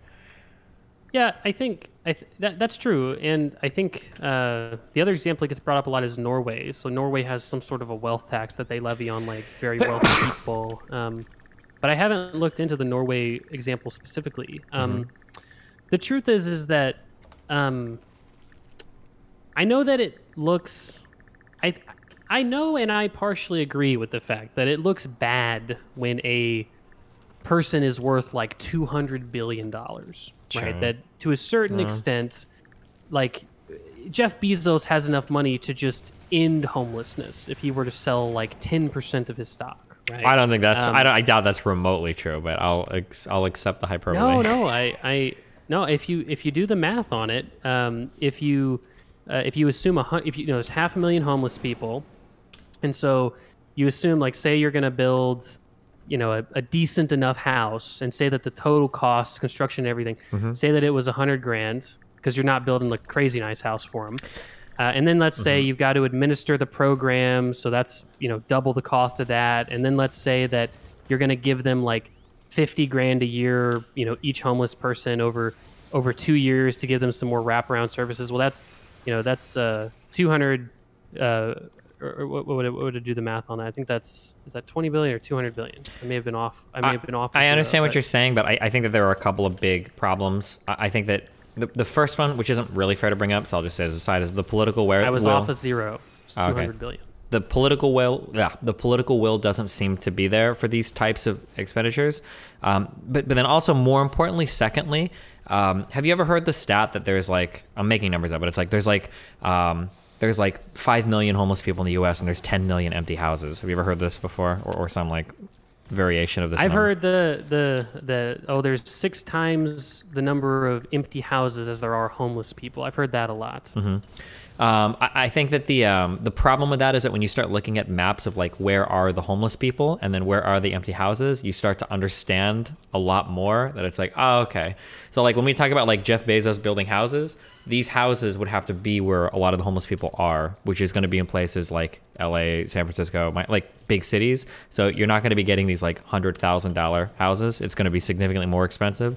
And then there are other problems that go along with like funding these people with the money too, like a lot there's a lot of mental health issues i want to say it's two times overrepresented in homeless Yeah. population be higher um, it just yeah it's one of those issues where it seems Well, that's like where that's that's where the wraparound services come in, right? Yeah. you you would give someone access to like jobs training, mental health services, medications that they might be prescribed, you know, counseling, uh, you know, whatever they might need. Um, and the the point of bringing up that example, I was off on a zero. I do uh, that's a mistake on my part, but um, obviously that you know the, the the the prospect of the U.S. Let's say that it was, you know, let's say it was three hundred billion dollars to like end homelessness, right? Like, I feel like that's a fairly reasonable estimate, right? To either expand like homeless shelters or you know offer sort of joined apartments or something, not necessarily building houses, but let's say three hundred billion dollars, right? Well, the prospect of the U.S. spending thirty billion dollars over ten years to like incredibly dent the homeless population is not infeasible, and so. I think that when people look at a guy like Jeff Bezos or Elon or Elon Musk or, or or Bill Gates that has, you know, just those three people combined have like almost half a trillion dollars of, of wealth, right? I understand the frustration, right? But I also think that with a wealth tax, kind of where I'm at on it with my limited reading of, of the literature, is that um, ultimately that money is just sitting there, right? And what you really care about is when Jeff Bezos sells the money and spends it. Like, you don't necessarily care that his stock is worth $200 billion. What you care about is him buying like a 100 foot yacht, right? When he cashes out his stock and uses the money to do that. Now, Sure, although we get into weird issues there where it's like, do we ban the sale or purchase of like all luxury goods? Should all these be skewed in favor of No, like- not at all. right. But that, not at all. That's why I'm saying that you you know you might rather focus on the capital gains tax Mm-hmm. if that's your problem, right? That well, who gives a shit if Jeff Bezos just wants to let his stock mature over time? I you know if you care about the lavish lifestyle that he lives and want to reduce income inequality, um, well, it's, it's capital gains tax. I mean, that's what you have to focus on. Make you know, put a capital gains tax that's like forty percent for anything over ten million dollars, right? And then all of a sudden, Jeff Bezos is going to pay like, I think he sells a billion dollars worth of stock a year. I mean, what is- you know, he's going to pay four hundred million dollars in in in. Uh, well, I'm assuming that the, the capital gain would be you know a billion dollars, I should say. So say five hundred million dollars of capital gain. You know, he's going to pay uh, two hundred million bucks in in uh, in taxes just on that one that one sale, assuming it happens all at once. And so, um, to me, that's that's like a more it's like a way easier way to determine the tax obligation because the market does the work for you. You don't have to like value the the the stock before it's sold. Um, and right now, honestly, I think the Treasury is coming up with like what I would say is an even worse idea than a wealth tax, which is taxing unrealized gains. which- Well, I mean, that's what a wealth tax would ultimately do, right? Like, as I imagine any wealth tax is going to include like your stocks as an asset as part of your overall wealth, right? No, because Stop no, not really. It's very different. And it- because a wealth tax is like, say I have say I have a portfolio of hundred million dollars of like Tesla stock or something like that, right? Um, well, if there's a wealth tax of one percent over fifty million, well, I'm going to pay uh, what is that five million dollars in wealth tax, right? Or no, uh, five, 500 million would be five $500,000 million if it's one percent, right? I said fifty million. So oh, then it'd be million five and hundred then thousand. Yeah, you're right. Yeah. So I'm going to pay 500,000 bucks in a wealth tax. So what the government's going to do is they're going to look at my stock. I made it easy for them. It's just stock sitting there. They know the mark to market. They're going to say, "Hey, by December 31st, 2021, your stock was worth 100 million bucks. We're going to charge you 1% fee after 50 million, 500,000 bucks. Easy enough. There you go. Tell me again. You know, there's your check as easy as possible, right? Now, the hard part on the unrealized gains is that it's not on the absolute value of your stock it's only on like the unrealized portion of capital and so you've got like a stock that matures at say you bought the stock say i bought the stock like 25 years ago right mm-hmm. or well tesla so say i bought the stock five years ago right mm-hmm. And i've just let it sat there. I haven't sold it or anything. And let's say over the time i had an unrealized gain of like 800%. Mm-hmm. Well now the government has to contend with the idea that i had this unrealized gain you know over time but i also had unrealized losses many many years that i owned tesla stock and you're also not taxing the value of my entire portfolio anyway. You're just trying to tax like unrealized capital gains. And luckily for the government i made that easy for them by owning public stock like i don't know how this would work if if you're taxing unrealized gains of like private equity um, or like private bonds or even public bonds. You know, stuff like that would be Sounds like a nightmare I would say- to figure out. yeah, to me that seems like more of a nightmare than a wealth tax. Which, at least with a wealth tax, you have like a clear end goal, which is just total sort of net worth, right? And unrealized gains, like how do you treat unrealized losses? Does every person have to report like a loss carry forward, depending on their portfolio? Yeah. How does that affect capital markets, right? So, like, if someone, are people going to invest in like, you know, maybe are people going to invest in like less profitable companies because that saves them on the unrealized tax, and then that distorts the market to a certain extent, but they Or I wonder- have like, an asset. It would be really exotic, but I wonder if you could found companies that have like cyclical, like ups and downs based on trying to to game the capital markets that or the like the Exactly, wealth like, yeah like have, like, really weird what if- distortions. Yeah. Well, what if companies do like this J and J thing, where they form like a shell corporation that absorbs all of their losses, but mm-hmm. nobody actually owns stock in that shell corporation, just in the mm-hmm. big, you know, regular corporation. So, I think that taxing unrealized gains sounds like, to me, a much worse and more nightmarish idea than than a wealth tax. Um, I think the thing that bothers Yeah. me the most um, about taxing unrealized gains too is the idea that like you might be forcing people to sell off like a business to pay like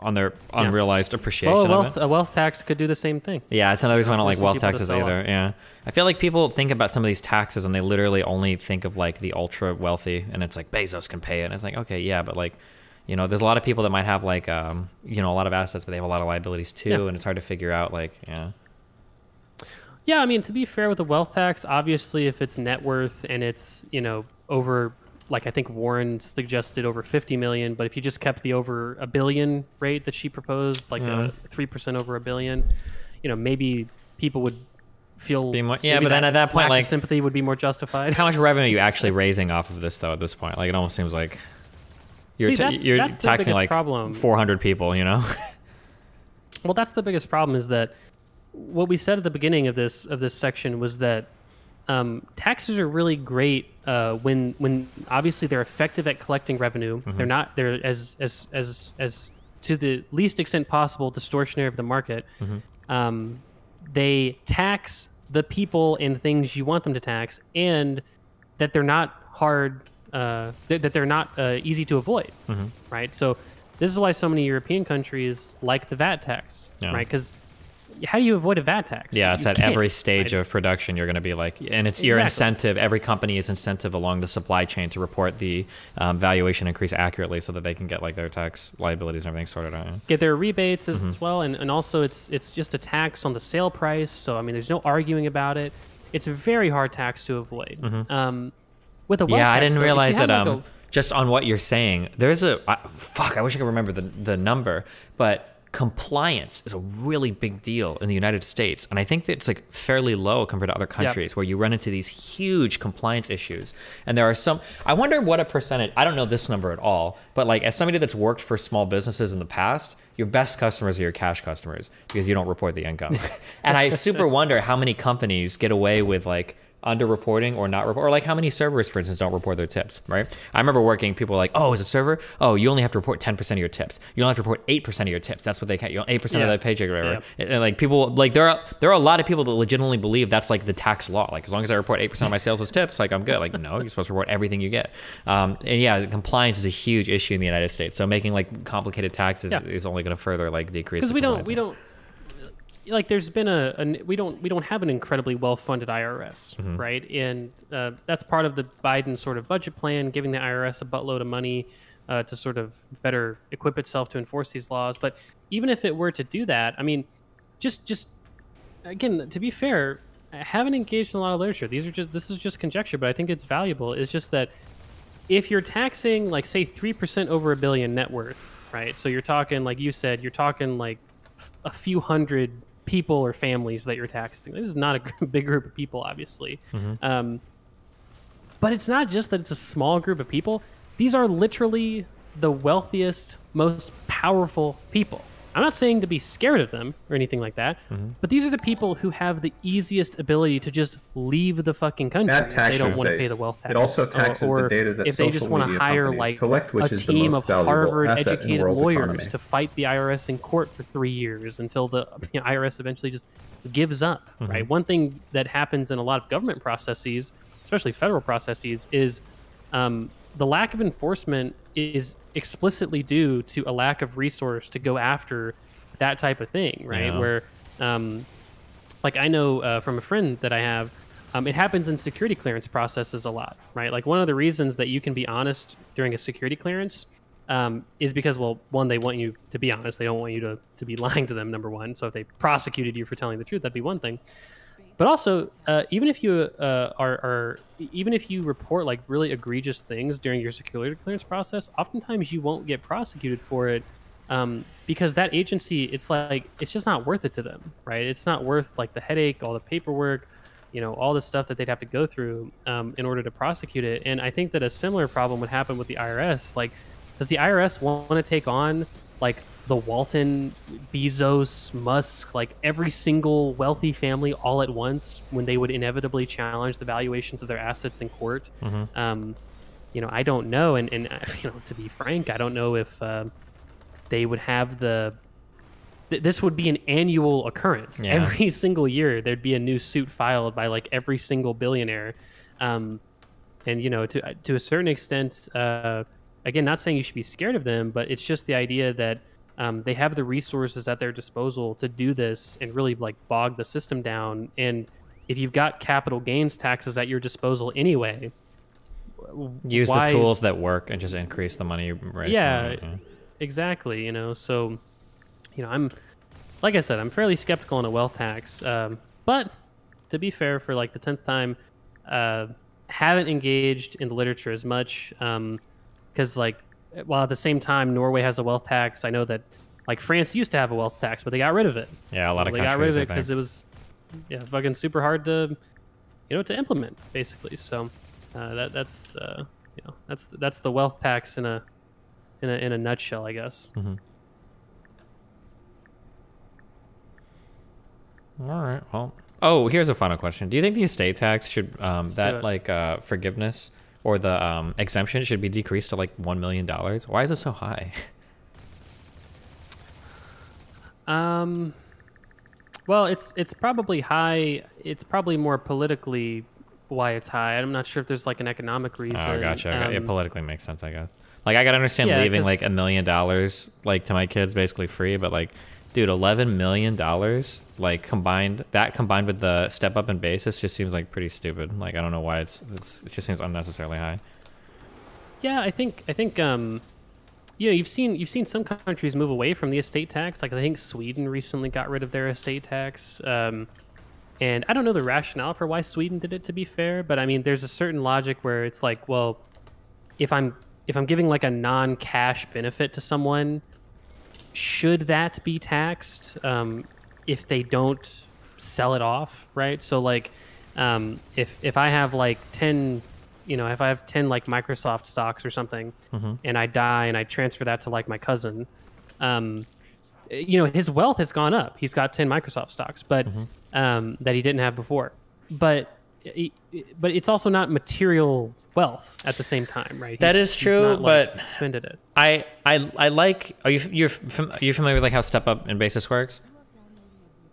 The way that I understand it is basically that uh, if I bought, like, say I bought like a stock in the 1970s and I owned it until I died in 2021, um, the step up basically says if I give that to my son, Mm-hmm. he, the capital gain associated with it, the tax that he would actually be levied, wouldn't be based on the buy price of 1970. It would be based on as if he bought it the year that I died. Yeah. So I like the idea of stepped up in basis because the stepped up basis creates a taxable event at death. I think it's probably better to have taxable events at death rather than like there are stocks that people have owned since the like 1950s that they've never had to pay capital gains on just because they haven't sold them and they can like borrow against it and do all kinds of other weird shit.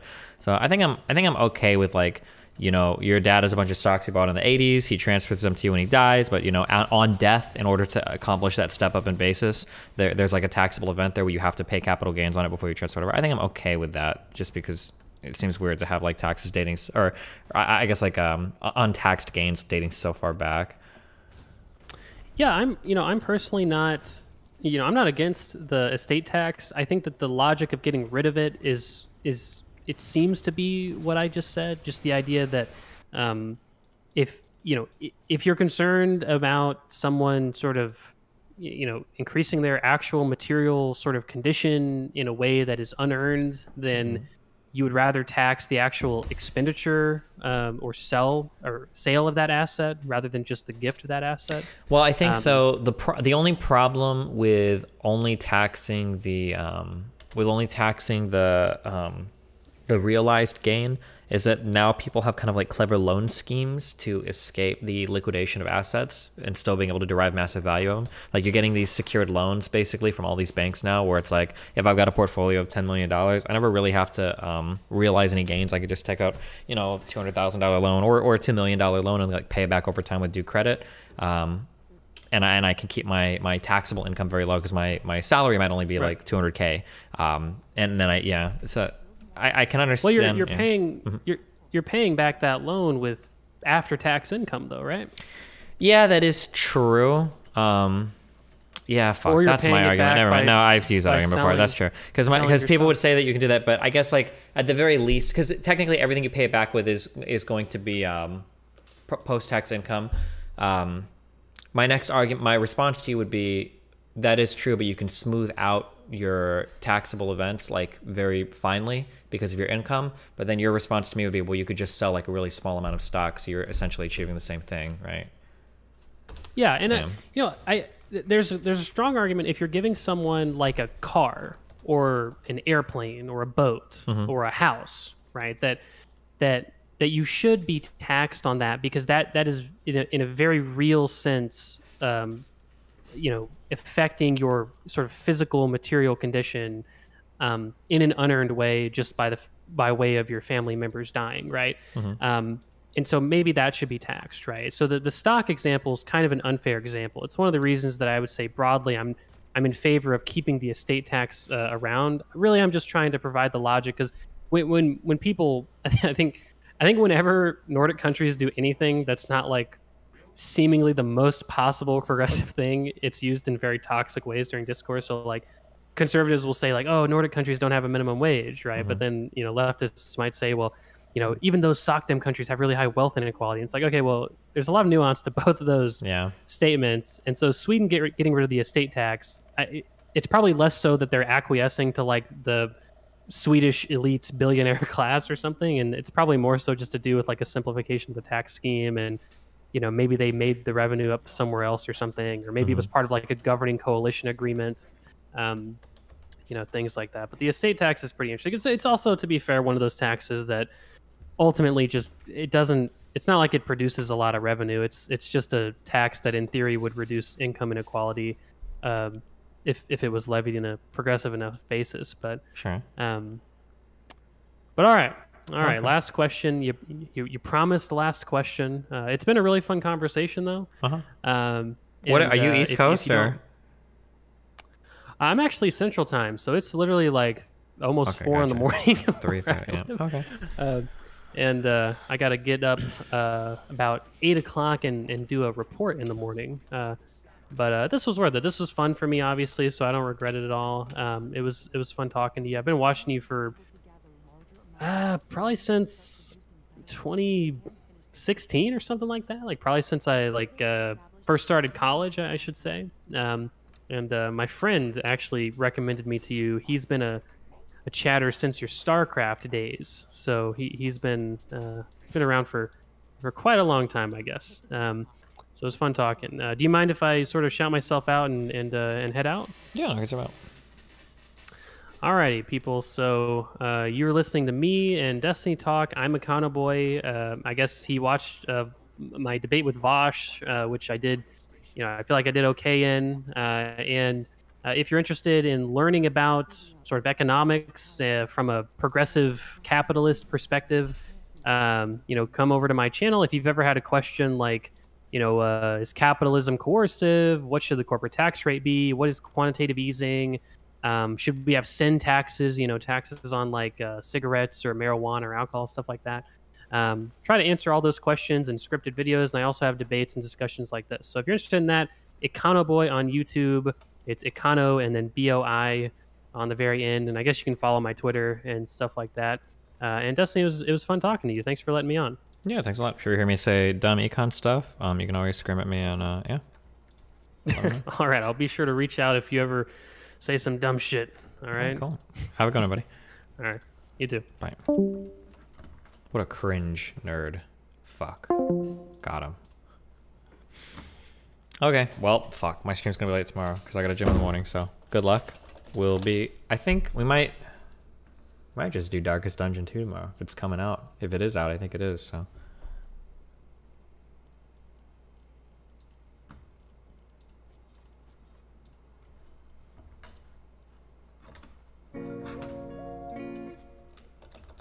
Comfy String DGGL.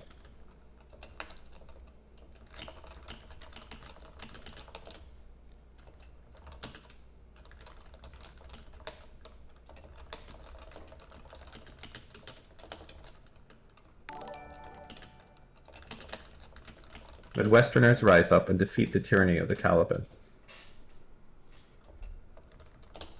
Okay. I love you guys. It's been fun. I'm fucking tired. I'm going back to Ben versus Charlie Kirk tomorrow. Oh god, oh yeah, I still have that one open. We didn't even.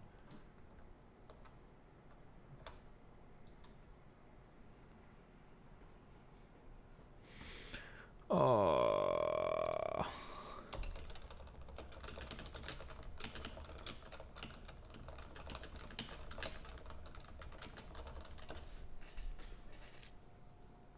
Um, Go watch Stardust. Here you go. She's okay. And I don't like to, I don't want to give out. We support strong women of color here. All right, Ripperino, Cappuccino, Poppuccino, Hoppuccino, Moppuccino, Cappuccino, Cappuccino, cappuccino, cappuccino. my dude, I will catch you guys tomorrow right now. Be careful, okay?